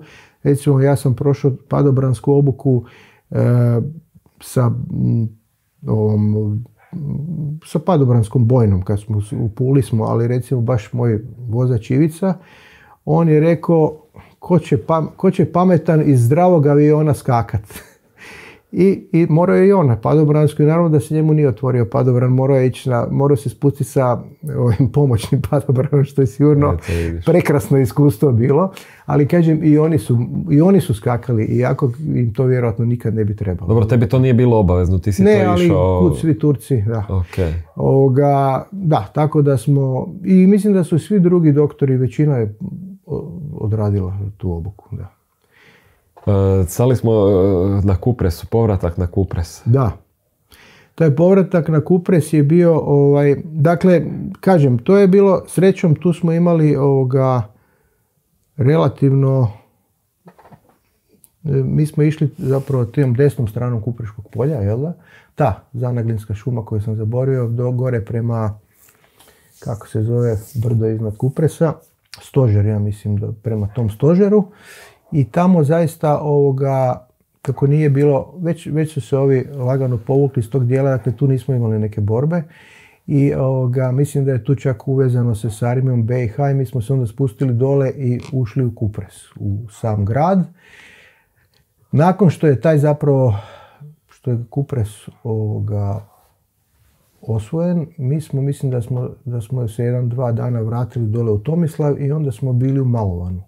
E sad iz Malovana je opet krenulo čišćenje one lijeve strane Kupreškog polja, jer tu, su, tu je bilo sve ispromješano još. Dakle, tu je ovaj, u tim borbama zapravo na ničoj zemlji nam je poginuo, poginuo Danko Bilić, koji nije odmah, njegovo tijelo je tek kasnije razmijenjeno. A e, kad, kad je krenulo, u tim akcijama je u Adria Ski smo bili dole, znam da je, da je vodio ovaj primorac iz domaći, e, ne znam koja je bila postrojba. Ante Primorac, postrojba za posebne namjene Ludvig Pavlović. E, Ludvig Pavlović, Ante Filipović, naš i Miljenko su koordinirali, znači to je Adria Ski dole, on je bio spaljen sav, jel? E, ali be- betonska ovoga, ogromna zgrada, sigurno, ali ono što hoću reći, ispred zgrade lijevo neka ekipa je zapalila vatru. To je ne, e, ja sam otišao gore sa dečkima u brdo, jer tu još bile borbe ovoga, e, i znam da kad sam se vratio dole nakon jedan dana, prespavali smo gore u šumi, nakon taj drugi dan kažu da je primorca pogodila granata. Pazi, on je, on je, mislim čovjek je zaista veliko ratno iskustvo poslije sam čuo imao. Izašao je na taj tren, tenk je, ja mislim, iz Losela gađao je, ima onu termokameru ili termonavođenje, gađao je tu, tu zapaljenu vatru. Jel? Malo je podbacilo i direktno na njega. Tako da je, evo, čovjek je poginuo ono, mislim da je njemu sad, da on gore ima i spomenik tamo. Kod Nisam, nisam, Da. nisam bio, nisam bio. Mislim- Evo sad su ti dani studeni, Da, obljetnica. vjerojatno je, vjerojatno. Tako da kažem, ja sam otišao brdo, vratio se, više ga nisam vidio. E, I u tim borbama ovoga, se zapravo, još uvijek mi, se mi nismo e, potpuno osigurali, dakle, onaj dio Livanskog polja i toga, tako da je onda to nastavljeno sa ovim e, kasnim akcijama. kasnijim, da, ono, zima 94. Pa idemo, idemo sad na njih, nema šta. Da. Ovaj. Idemo sad prema tamo. Da, zima E, 94, da, to je, Zima. znači mi smo došli, e, Puno je bilo zima, ali tu posebno pamtiš. Da, čak kasnije proljeće i ljeto. Jel? Jer u zimi je, zima je bila na neki način, e, znam da sam u, u tim akcijama, znači e, prešli smo dole na Livanjsko polje, Struplić nam je bio sad stalna baza. E, bio sam znači, s njima, e, sa našom padobranskom bojnom i, ovoga, i to je bila i ova druga mehanizirana, više ih ne mogu pamtiti. Ma, ko ta je- ko je- HVO, ok. Sa HVO-om. da, uglavnom Čelebić smo uzeli, koji je bio zapravo pola njihov, pola naš. I to nije bilo jednostavno, znam da je Miljenko, e, mislim Filipović je kasnije, kako mi kažu ljudi, imao stvarno više puta ono, ono dobru procjenu na terenu šta bi trebalo. Već, već je on par puta rekao ljudima kako da se miču, kako, na koji način da se maknu, recimo, izbjegno je sigurno dosta pogibija samo zato kod tih minobacača rekao je nemojte ići tamo oni, njihova sljedeći je plotum dalje, vratite se nazad i tako dalje. Znate, to se vidi da je iskustvo. Čelebić su oni zapravo na neki način doveli u poluokruženje. I ovoga, tako da su ovi nakon, nakon toga pobjegli ovoga, preko Livanskog polja gore prema Crnom vrhu ili gdje li je ono, prema, prema Grahovu ekipa. Tako da je s druge u toj zimi oslobodio Čelebić i sad šta, zaista su krenule, misli, ja mislim da smo mi tada imali kao, e, to se zvala nekakva e, Zrinski, čak se zvala taj područje Zrinski po nama, čuvali su ga, uzeli su onaj Makso vrh, to je e, na, gore na Staretini, dakle onaj, to je planina s desne strane recimo Livanjskog polja kad gledaš ajde recimo istočni dio Lionskog polja. I ja znam da sam se ja vratio dalje na svoju specijalizaciju jer u principu to je bilo to je bilo više čuvanje terena. Mislim da su s onih zapadne strane četvrta i prva se mijenjale, ne, četvrta, i sedma. četvrta i sedma se mijenjale, a ovdje je bilo taj, nakon što je uzet Maksov vrh, vrh ljudi su ovoga, ljudi su se prvenstveno borili sa užasnom snijegom i to je bilo, ja sam došao jedan put, baš sa Ivicom Ištokom, ovoga, samo što nije onaj vjetar, onaj Pinsgauer naš, ljuljoga je cijelo vrijeme koje su tamo vjetrovi, to je preko metra bilo snijega. Uglavnom, tako da je ta zima e, bila ovoga, e, za mene prilično ovoga, nepoznata kasnije. Ljudi su bili tamo proveli par mjeseci i ja sam zapravo došao kad se je krenula akcija Skok 2. Jer to se znalo da krenu borbene akcije i onda smo se opet zapravo svi vratili tamo. Jel? Idemo sad e, taj, e, na što sam te tu htio pitati, vidio sam to i u, i u monografiji s druga, ta zapovjedna izviđanja. Ti si mm rekao, gledao si da. pravce izvlačenja već e, eventualnih ranjenih u, u akcijama. tu ideš sa, sa Rodolfom Barijom, sa Vedrom, sa, sa tim njuškama. Da ti imaš svoju neku viziju i gledaš e, svoje, oni gledaju svoje. Pa da, ma gledaj ovako. Kak, kak, kak, je, kak je to izgledalo? Mislim, e, nije, kažem, rekao sam ti, nije svaka akcija, ne može imati zapovjedno, nekad smo morali uletavati, znaš, kad si interventna, otprilike znaš gdje si ideš, ali kod recimo tih planiranih akcija, da, ako je moguće, E, nije to bilo tako često, ali više puta sam baš sa Rodolfom, sa Miljenkom sa, ili sa zapovjednicima. Dakle, otprilike da vidiš... Skok dva je bila planirana. da, da, da. Gdje tu, će se, tu ste išli gledati. Da, da, tu smo recimo išli.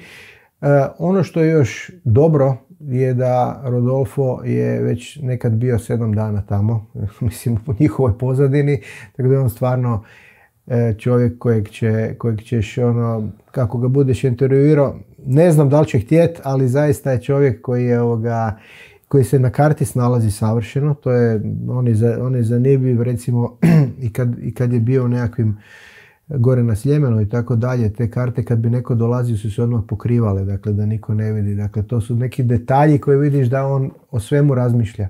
Ali poznate su one njegove priče sa Šimovićom i sa svima da je išao i, gle, i 30 km u pozadinu. Gle, pa- bio sam nedavno u, da u Ljubuškom sa Marijom i na meni je da nagovaram, ko što sam tebe nagovarao i njih, pa možda pristanu, pa, Evo, pa, da, pa da ispričaju I, i, tu priču. E, ništa, skok dva. Da, da, kažem, ta zapovjedno izviđanje u svakom slučaju ovoga je dobro, zna gdje će biti ko. E, ja sam to otprilike e, uvijek organizirao tako da sam ja s dečkima gore. Imam jedno mjesto gdje mogu gdje možemo ranjenoga dovesti, gdje, gdje ga auto ga čeka i vozi prema toj bolnici koja nam je najbliža, ja se vraćam s dečkima gore. Tako smo uvijek funkcionirali. Ili ako je negdje, e, ono što sam rekao, da ne moraš dva sata izvlačiti, onda sam ga ja negdje čekao sa...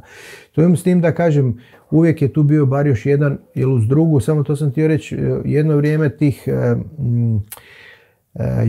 na tom južnom potezu, gdje smo, ne južnom potezu, nego južnom bojištu kad smo bili 93. sam je bio sam.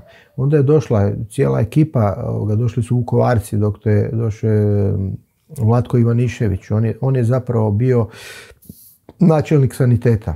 Ja sam bio, bio ratni načelnik jer sam ja bio s njima na terenu. Tu je bila doktorica Gabelica. Ta nju dosta često spominješ. Tako je, bio je doktor Borki Vučetić koji je sad u Vinogradskoj kirurg. E, dr. Šiniković, on je ostao u ratu, dr. Gec, e, koji je isto u vojnim strukturama.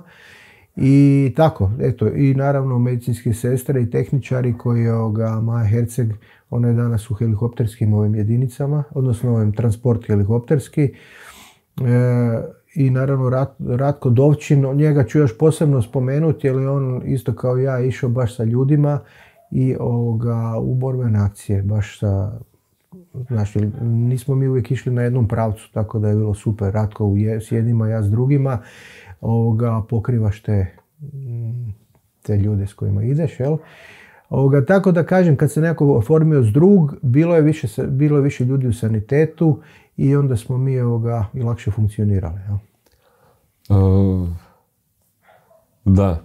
da. Zanimljivo, zanimljivo je to. Dobro, sad više nisi one man show. Da, da, da. Ne ovisi sve samo o tebi. Da, da, naravno. Mislim, ovoga, to je velika stvar. Kažem, i e, srećom nikad nije bilo tolika masa, ono što si pitao, da, da bi ja morao trijažu raditi, da bi nekog morao staviti. Ali ako su na dve pozicije, super je ako, ako je, na, je ova druga pokrivena bojna. Recimo ja sam išao podobrancima, a Ratko sa samurajima, takozvanim iz, iz Pule ekipom. Tako da, to je druga bojna koja je bila tamo stacionirana. Tako da, ovoga, bili smo zapravo pokriveni svi. E, dobro, e, kad, kad pričaš o intenzitetu, e, onda, onda stalno taj šator i taj skok 2 nekako dolaze na prvo mjesto. Da, šator i glamoć su zapravo nekakve akcije u kojima je bilo i posla za mene više nego... Zašto je intenzitet? Evo, to je jedna od tipičnih akcija, to je jedna od akcija recimo u, kojima, u kojoj ranjenik ne bi preživio da nije bio liječnik tamo. Znači, treba se uzeti šator. Planina, to je, za, to je dakle na vrhu Livanskog polja desno je Staretina, ide se prema Glamoću, lijevo se ide prema Grahovu.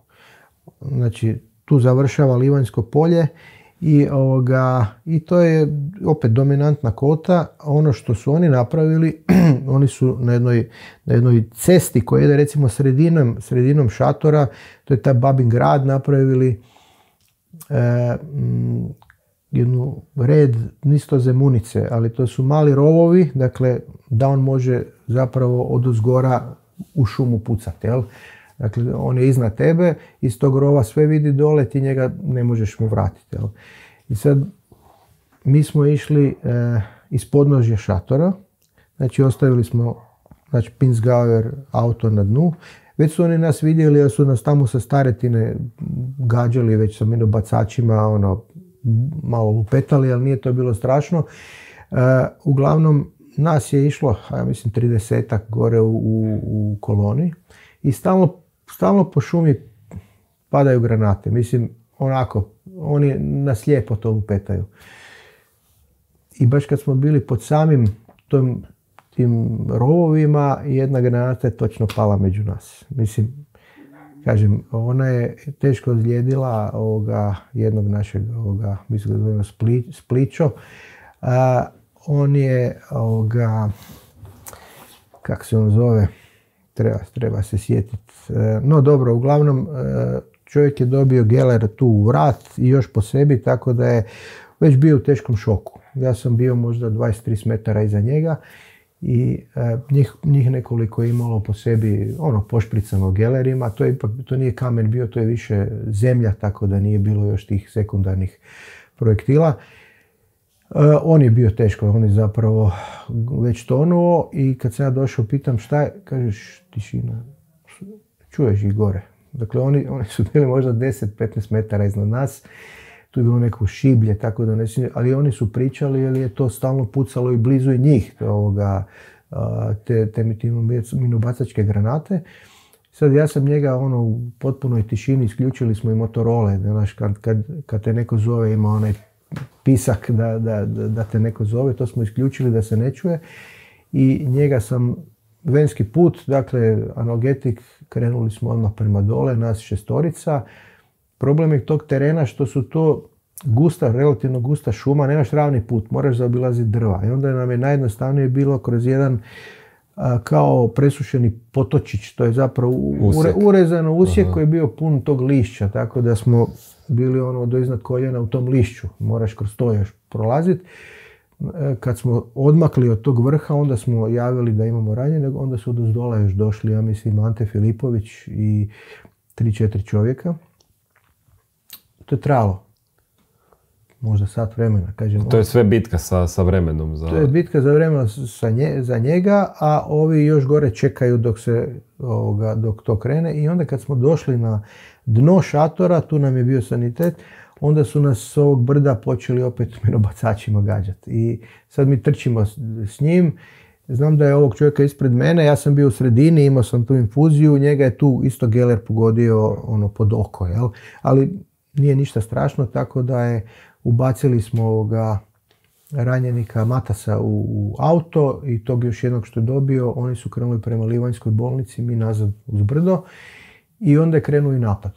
I taj napad je išao vrlo brzo, dečki su iskočili na tu cesticu među rovove i odmah su ih ovoga, u tim rovovima je ostalo ja mislim 5-6 njihovih vojnika koji se nisu ni pokušali, mislim to je bilo iznenađujuće za njih, kažem, čudno, čudno da nas nisu čuli, dio njih se razbježu. I ovoga, taj, taj Babin grad je zapravo bio, bio prelomna točka da se uzme šator. Dakle, mali šator smo vrlo brzo uzeli.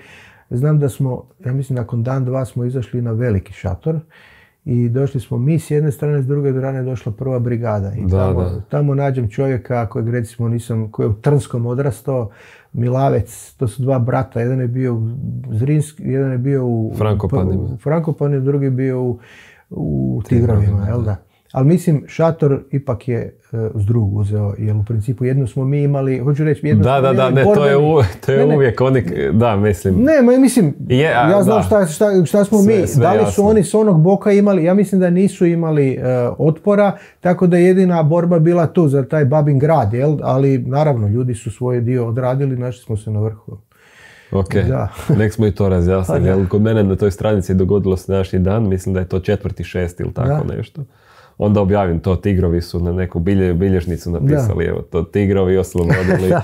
šator i onda se da. javlja ekipa iz druga, dižu im se, da. ko ima kose na glavi, još im se diže Da, kosa ma na ne, glavi. meni je bilo drago sad vidjeti čovjeka poznatog, pazi, Aha, od kojim, s kojim da. si ono 20 godina da se nisi vidio, ovoga, nađeš ga gore. Pa čekaj, su oni tebe čekali da, da krenu u napad ili je to se koincidiralo Ne, sa to je koincidiralo, mi, ne, ovoga, krenuli bi oni i prije, ali bili su već u ovim, samo su trebali dok su se i ovi, dok, smo, dok su se ovi sami sebe praktički sanirali malo dok je to krenulo i onda je, dakle mi smo se uspinjali kad su oni krenuli u napad. A koliko ti imaš e, litara infuzije, krvi, Pa ja sam i šta, nosio- to da, da. krvne grupe, kako to ide? Ne, Jel- prvo- jel- Da, ja sam nosio ranac. Ja, ja sam ovoga prvo, znači kad sam došao ono, one prve akcije, recimo e, još i Golubov kamen, ima tu na nekim fotkama, imam nekakav ruksak koji sam dao u zelini izraditi, e, baš sanitetski, to mi je jedan kožar iz zeline napravio, da imam za ampule, za sve, za to, a to nije mi bio dobar, mi je nekako vuko. I onda sam ovoga, njega sam nosio kad smo bili to u Dubrovniku i to, i onda sam zapravo nosio borbeni ranac koji su svi imali.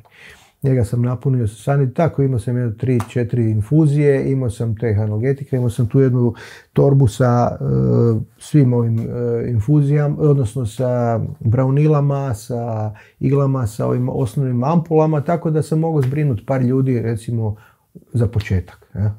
A bilo je, znam kad smo bili ono, e, zima 94. na onim hladnoćama, da sam imao i ovoga, da sam nosio e, tu kod sebe, znači da grijem infuziju, jer infuzija bi se zaledila na onim, e, na onim temperaturama. Imao sam ju tu pod, pod pancirkom zapravo jednu, jednu bocu da im- imam toplu infuziju koja bi se, srećom nisam tad to trebao upotrebljavati, jer da sam trebao ona bi već nakon par minuta davanja bila prehladna čovjek i tako kad je ranjen i u šoku, ovoga, hladna infuzija mu ne pomaže puno, jel, treba bi. Tako da, evo to sam nosio. Da, Sva- da, svakakvih situacija. Da, A, a krv, krv niš- nisi to, jel to je... ne, ne, pre- ne. E, Ali recimo, to je za, kako čovjek razmišlja, e, e, razmišljao sam da imamo recimo, ono što je bitno znati, ratne bolnice su po Hrvatskoj i po ovom dijelu Bosne gdje smo mi bili zapravo vrlo blizu. Mi, mi smo malo, mislim po kilometrima, dakle, jedanput kad je, aut, kad je ranjenik u autu, on za 20 minuta, pola sata dođe do prve ratne bolnice. Jel? Nije to ono, ne znam, pustinja pa ti helikopterom 3 sata letiš do, do prvo. Znači, i tu je vrijeme bitno, ja ne kažem, bitno je naravno što su kiruške ekipe bile uvijek dobro raspoređene, to je sanitet izvrsno napravio, ali je ta blizina jedna dobra, jedna dobra stvar i zapravo nam je bilo jako dobro, mislim da je zato puno naših ranjenika dobro prošlo, dobro preživjelo. Ali ovaj, šta sam zapravo počeo sad pričat s ovom? Ja sam pitao za, za krv pa se ti Točno. grijanje. Gledaj, što se tiče, dakle nije bilo potrebe za, ali sam razmišljao, e, mi smo imali svi pločice sa imenom, prezimenom i krvnom grupom. Znaš, ono ko onim Američkim američke filmovima. dvije pločice, ako pogineš jednu ti stavio zube, a drugu se nosi ne znam gdje. E, i na nju sam i razmišljao sam zaista e, da, da nekom treba krv, da li ono usporediti dvije krvne grupe i dat. E, Amerikanci su to razvili, to oni zovu e, walking blood bank, dakle hodajuća banka krvi. Imaju popis svih e, pripadnika te postrojbe sa krvnim grupama, ali imaju nula, nula negativnu ovoga, dakle uni- univerzalne davaoce. I to im se, to su stvarno ovoga, primijenili negdje, u, ja mislim, u Afganistanu, jer su bili u okruženju, to je jedna od akcija koju sam čitao. Dakle, ja sam o tome razmišljao još prije, a oni su sad napravili kitove, znači da, da ti možeš da usporediš ovoga, da li je krv ovoga kompatibilna. Dakle, oni to imaju u sebe i pozovu, znači imate, imaš ranjenika, pozovu jednog od tih sa nula negativnom davaoca, uzmu njemu krv i transfudiraju na, i tako može nekoliko sati. Bilo je, znam da su imali u jednoj akciji opisano 4-5 ranjenih, E, svi su preživjeli e, i svi su dobili transfuziju krvi, jer su upravo se tom logikom ovoga univerzalnog davaoca vodili i onda je... Čekaj, kako se to kaže intravenozno ili ka- ka- kad, Što? Intra, kad je iz ruke u, ru- u ruku? Da ne ide iz ruke u ruku, ide u vrećicu i onda Aha. se ne ide direktno. Ne, ne, ima. Ali, Ja znam ali da je bilo i- situacije u ratu, neki dečki mi pričaju ovaj, da je bilo situacije da su, da su davali ovaj, doslovno iz ruke Jel? u ruku. Da, to ne znam. To Spašavanje Gordana Lederera Aha. kod Kostajnice. Da, to je, ne znam, to je bilo tako. ja evo, to, mi je, da su direktno to mi je i u podcastu sad Rimac je bio, Mhm, pa je pričao, baš je spomenuo ime dečka koji je, da, koji je davao krv Da, Ledereru. mislim, jer inače bi trebalo uvijek provjeriti da li je to kompatibilno. Može čak biti... e, Ne znam naravno- kak su oni tamo i šta, ali- Ovi, ovi kitovi koji imaju Ame- Amerikanci upravo zbog To je toga. super, dakle, da, da si to krv, imao. Daš uzorke, Da. vidiš da, da su kompatibilni i daveš onda jer to je vrećica koja ima u sebi ovoga, antikoagulanse da se ne bi skrušala. Jasno. Da, znam da sam pričao sa nekom, sa jednom od, od ovih e, medicinskih sestara na Velebitu kad je Luja krenula pa je onda sa tim frižiderčićem e, trčala. Da, da. To, to je bilo tad tako, sad to ide Da, da. Da, da, e pa to su recimo dislocirana bojišta gdje ti moraš imati ili kiruški tim ili Mislim, teško je i na Velebitu operirati, ali, ali imati tim koji će... Dobro, Lukovom šugarju je se, se, Da, se da. dolje ovaj, su se imali sale, ali je. da, pa Da, e, hvala Bogu nije bilo toliko borbenih akcija tada, a, da. a u Luji su bili povoljni vremenski uvjeti da helikopter leti. Pa da, to je, kažem, i sve je to relativno blizu. Za, Da. Da. E, ok. E, čekaj, tu si rekao negdje Znači- da ćeš spomenuti e, šta smo zaboravili. E, Motorola da vas je skoro... Pa da, to je bilo, evo, to je to kad, Aha, smo, to je kad to. su me ušutkali ovoga, Da šu- da je aha. tiho i onda gasi Ok. Motorolu, jer ovoga, ovi su tu gore. Mi njih čujemo, srećom oni nas nisu čuli, jer je sve nekako šaptanje bilo pozovi doka i tako dalje. Da, i to je zapravo glamoć, e, mislim to je, to je bilo u, taj šator i sad ide u principu ovoga, na, nakon na skok 2 se nastavlja ljeto 95. Tako je. Tako je. To je, kažem, tu je opet bilo puno posla za mene, za nas, ne samo za mene, tu je bilo, tu je sad već cijeli sanitet bio u, u- ovoga, uključen, jer smo mi pri tom spuštanju e, prema Glamoću, to je zapravo obranci Staretine s druge strane, prema Glavačkom polju, jel? Tu je bio ovaj, e, nama je lijevi susjed bila 81. bojna gardijska kumovi, dečki iz Virovitice, e, koji su imali zapravo jako tešku, težak pravac. I e, tu postoje neka, neke ovoga, kote koje su, koje su dosta ovoga, e, zaista jako e, njihove kote koje su toliko bile armirane, dakle Znam da su to i hrvatski muslimanski zarobljenici, odnosno ljude, čak to nisu bili ni vojnici, koristili su nekakve lokalne ljude da im, da im to ovoga, prave. Fortificiraju. Fortificiraju, to su bili balvani ogromni plus e, zemlja, ja ne znam da to ni direktno tenkovska granata ne bi probila. To je taj Italijano vrh i tako. To su bile kote koje opet je Filipović rekao da nećemo ići direktno, nego je ono žablji skokovi. O poluokruženje i jednostavno kad oni vide da tu ne ide, onda se povlače. Ali na ovom, tam na našem lijevom boku, kažem 81. kumovi su imali veliki otpor i oni su imali više, više poginulih i, i ranjenih, tako da sam ja tu bio ovoga, prilično angažiran. E, mi smo, ovaj, mi smo recimo prve ranjenike smo odmah tamo, a gledajte, od, od mjesta ranjavanja do, do tog auta, to nije bila prva crta gdje sam ja bio, jer smo mi zapravo pratili s druga, ali to je bilo vrlo brzo. Do, donijeli su ih, mi smo ih odmah stabilizirali u auto i dole. Kako, je, kako, je, kako smo vidjeli da njih dosta, onda je došla još jedna naša ekipa i ovaj Šiniković i Borki i onda smo mi zapravo naizmjence i transportirali dole prema Livanjskom polju preko tog. To znam da smo opet Ištuk i ja kad smo uh, naišli na jednu cesticu koju nismo, nismo znali da li je minirana.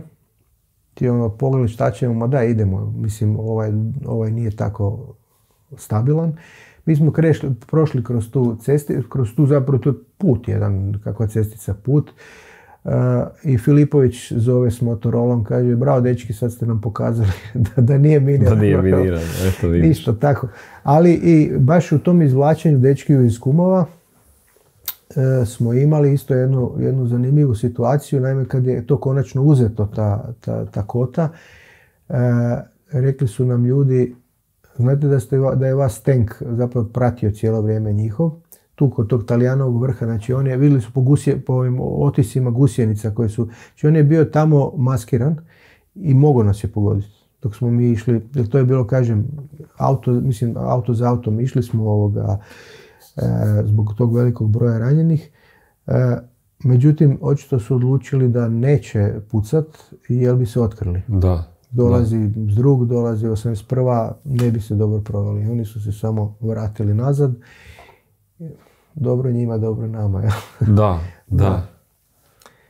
Va. Evo, da, to je, da, da znači, je tih to su te situacija situacije, gdje ne, ne znaš da si na nišan. Da, kad otkopaš protutenkovsku minu ili ovako kad znaš da te neko, ga- da te neko ciljao, to je onda ovoga, poslije počneš razmišljati koliko si sreće imao. Jel, u. Ti već sad dvoje djece imaš, jel? Dvoje? Aha, da, tada sam, tada se druga kćer 94. rodila, da, da. Da. Dvoje. Ove su preostale tri, nisu ratna djeca. Poratna djeca, poratna djeca.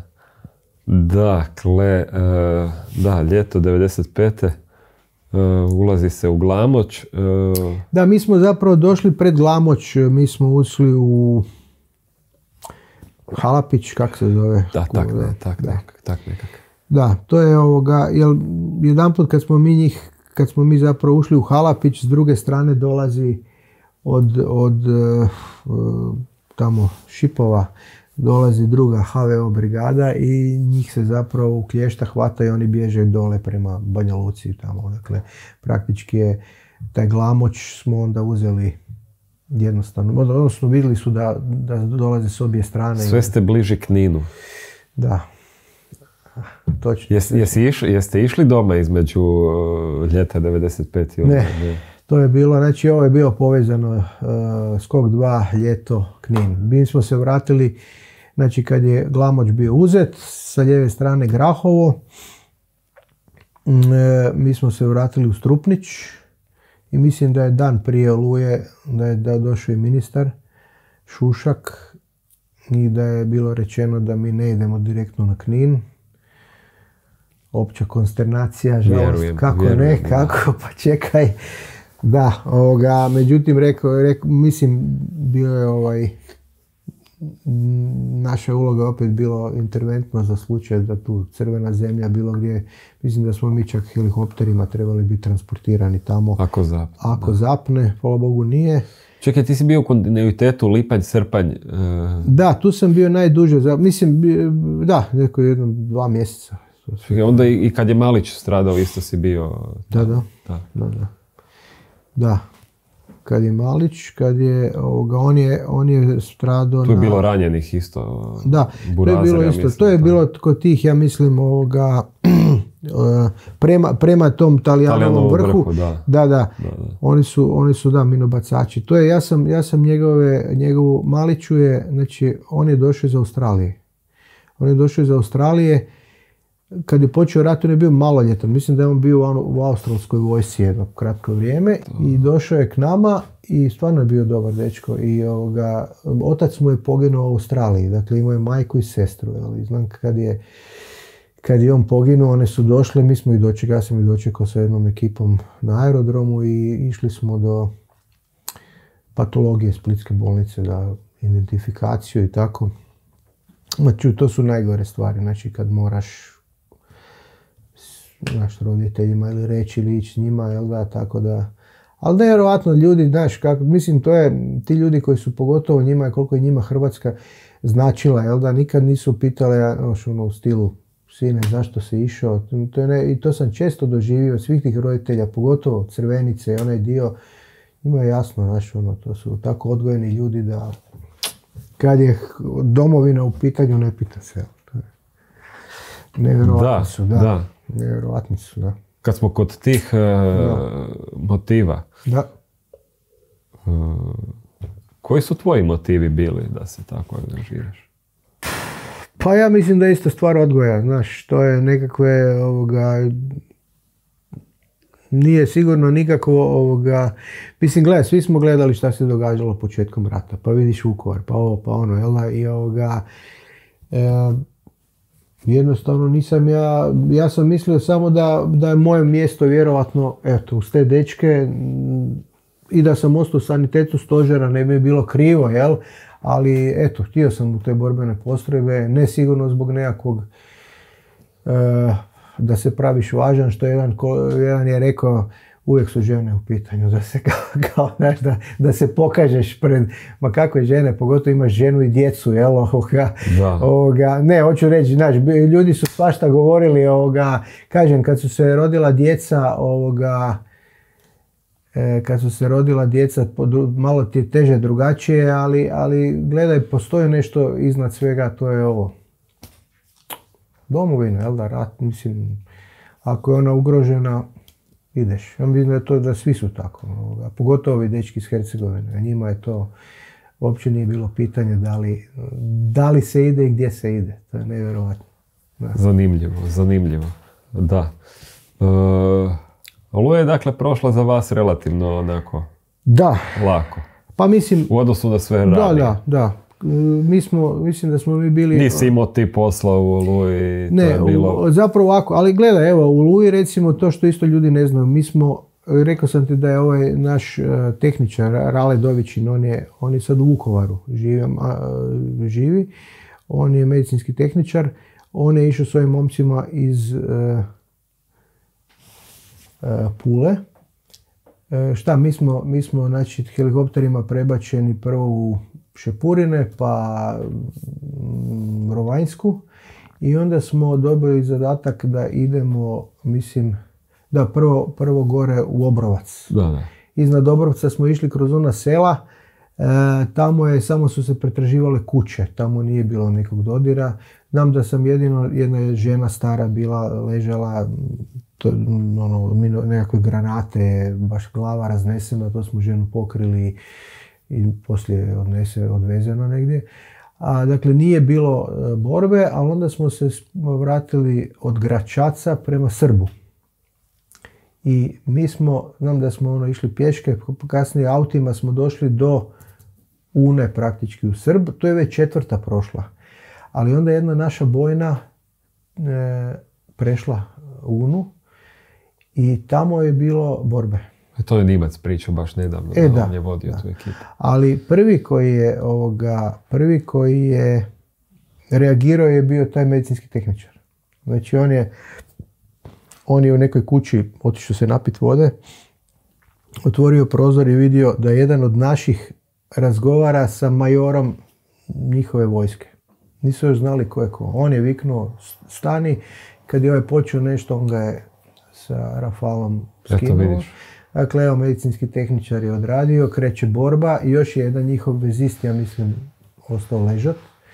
I onda se uključilo topništvo, tako da je to je već bilo osmi osmi negdje. Dakle, to je možda Kraj i da. zadnja, zadnja borba, ono baš u tim danima Oluje bila. Znači, to je preko Une u Bosni i, ovoga, i tu smo stali i eto, to je za nas bila Oluje gotova. Jesi ti imao takve situacije da si morao sa pješačkim oružjem djelovati? Bili smo kad smo išli izvlačiti u tim e, 93.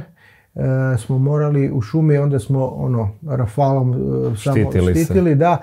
A, kažem, to je bilo inače, imao sam oružje stalno, ali e, da, da sam ga, mislim, nismo ga redovno upotrebljavali. Da, hvala da, da, Bogu. da, hvala Bogu, hvala Bogu, ali ovo je Da. stvarno bila vanredna okolnost. Da, da, da, ovo je bilo, čovjek je re- morao reagirati ili baš je, nije se znalo, on je prvi reagirao, tako da je to. E, jesi uspio do Knina skočiti tada ili nisi Ne. uspio? Ne, nisam tada, ovoga, znači mi smo nakon toga, ja ne znam kako sam se vratio, Knin sam tek puno godina poslije išao, da. E, tu završava tvoja ratna Da. priča. Da, jer e, na kraju Oluje kad smo se vratili, ovoga, ja sam dobio mogućnost, znači ja sam cijelo to vrijeme između tih akcija bio na specijalizaciji na Rebru. Već sam godinu dana i tako produžio i u Hamburg sam išao na dva mjeseca, odmah nakon Oluje, tako da ja nisam bio u ovom majstralu u južnom potezu. Naravno, javili su mi dečki za pogibiju Šaškora i, i ranjavanje Deme i tih naših dečki. Jel? To je, to je bio Tako šok. da to nisam doživio. Znaš, uvijek se pitaš, e, žao ti je što nisi ljudima tamo, s ljudima tamo, s druge strane, kao što znaš, Isus sam ja s njima u to zapovjedno izviđanje i tako dalje. Mislim, možda bi ja stajao uz Šaškora kad je poginuo. Mislim, nikad ne znaš. Da, da? To, je, to da. su situacije gdje možeš, dva, pa, Filipović je tu isto ranjen. Znači, samo što je bio metar dva dalje, mogu i on poginuti. Tako da, ne, kažem, ne treba čovjeku biti žao što nije bio tamo, žao ti je što nisi s njima, jasno, ali opet možda, ko zna kako bi završilo, jel? Da sam bio tad s njim u tom trenutku tamo, to je. Da, da. e, jako, jako, jako lijepo si, si pričao o tome. Vidio sam na par trenutaka da je bilo i emo, Da. emotivno dosta. Kad se vratiš u to vrijeme, ono, Da. uzmu te emocije. Pa je, razmišljaš često o tome, nažalost sad tu i tamo kako neko umre, jel da, nažalost. Pa dobro, vi se evo sad u Botanistu se lijepo Pa okupljate jednom nađemo se, godišnje, ali jel da pa tako, da, nađemo se. Znaš šta, ja, ja ih vidim zato što, gledaj, sve su to ljudi sad u nekim Koji imaju- godinama, da, opet su ti došli, da. kad ti postaju, ne mora za mene biti pacijente, ali me traže za neke Da, druge stvari, da. uglavnom me- medicinske stvari, pa se tu sretnemo.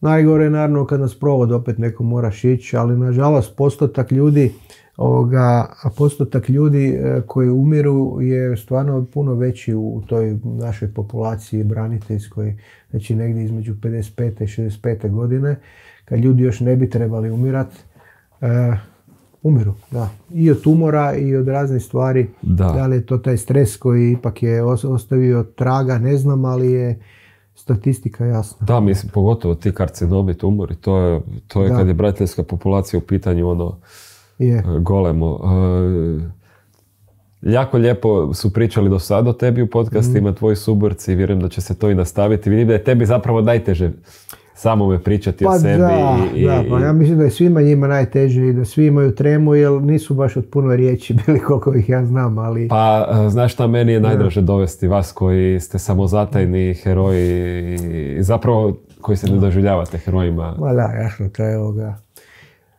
Da se mi nađemo, sad kažem, dečki uz čašu e, pića, to je nama najdraže. I zapravo, znaš da se relativno malo, malo priča kad se nađemo o, o ratu, što je dobro.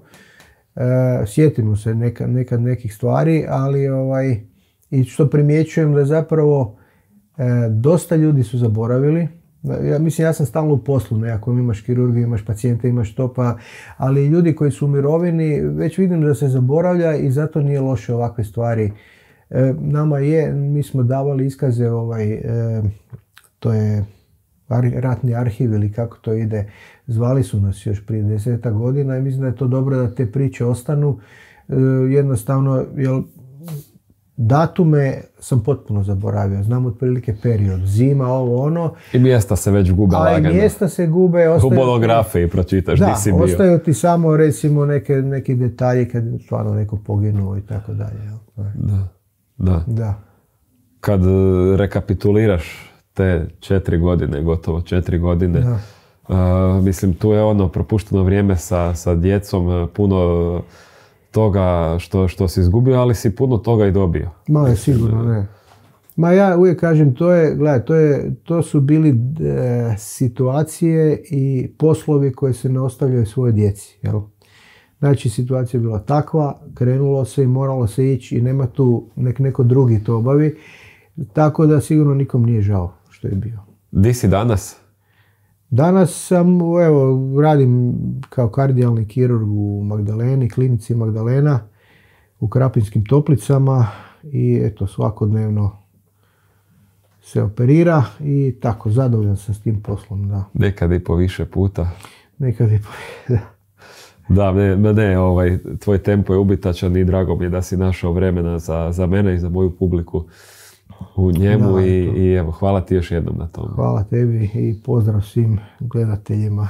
i Pogotovo dečkima I slušateljima, prate. ima, A ima, ima, i slušatelja, da. ima i slušatelja, ima na, na tim platformama poput Spotify stavljam, a ima i, i onih koji nas ne mogu vidjeti. Moj prijatelj Pero je slijepac, Da, redovito jasno, prati jasno. Super, super. podcast, Da, on je moj da- sluš, vjerni slušatelj. Da, da, da, da, nisam znao da, da ide na radio, odnosno da ideš e, Ma, zvučno samo. Da, ono, da, ovako, pratim, pratim pratiš to gdje, gdje mogu, Na radiju, da. uguram. Super, da. E, Evo, lagano ću odjaviti ovaj e, dio. Nadam se da vam je bilo zanimljivo. E, Podcast Gdje si bio 91. Hvala još jednom e, sponzoru, gospodinu Križiću, restoranu Botanisti, Sundial e, hotel, butik hotelu. Nadam se da sam dobro to izgovorio. Svakako je opis e, gdje je lokacija i kako do, do botanista doći u opisu ovog videa, tako da kad ste u Zagrebu ili ako ste iz Zagreba svakako odite jedno od jedinstvenih mjesta u gradu za neku dobru klopu, proslavu ili nešto slično. E, Hvala svima vama koji eto, kupujete i majice, evo dok, dok je već najavio da će, da će Da, da. biti tu kupaca iz njegovog miljeja. Tako da hvala svima a, koji na taj način podržavate ovu priču i evo, bilo komentarima, dijeljenjem ovog podcasta ako mislite da treba negdje biti podijeljen i evo, hvala svima koji ste članovi membershipa, evo za 5 eura dobivate ovaj podcast tjedan dana ranije i sve ostale i možete postavljati pitanja, odnosno postavljati ih mogu svi, a gledati ih možete vi u rubrici pitanja i odgovori koja slijedi. Da ne duljim, lijep vam pozdrav i vidimo se u idućem podcastu ili u rubrici pitanja i odgovori. Doviđenja.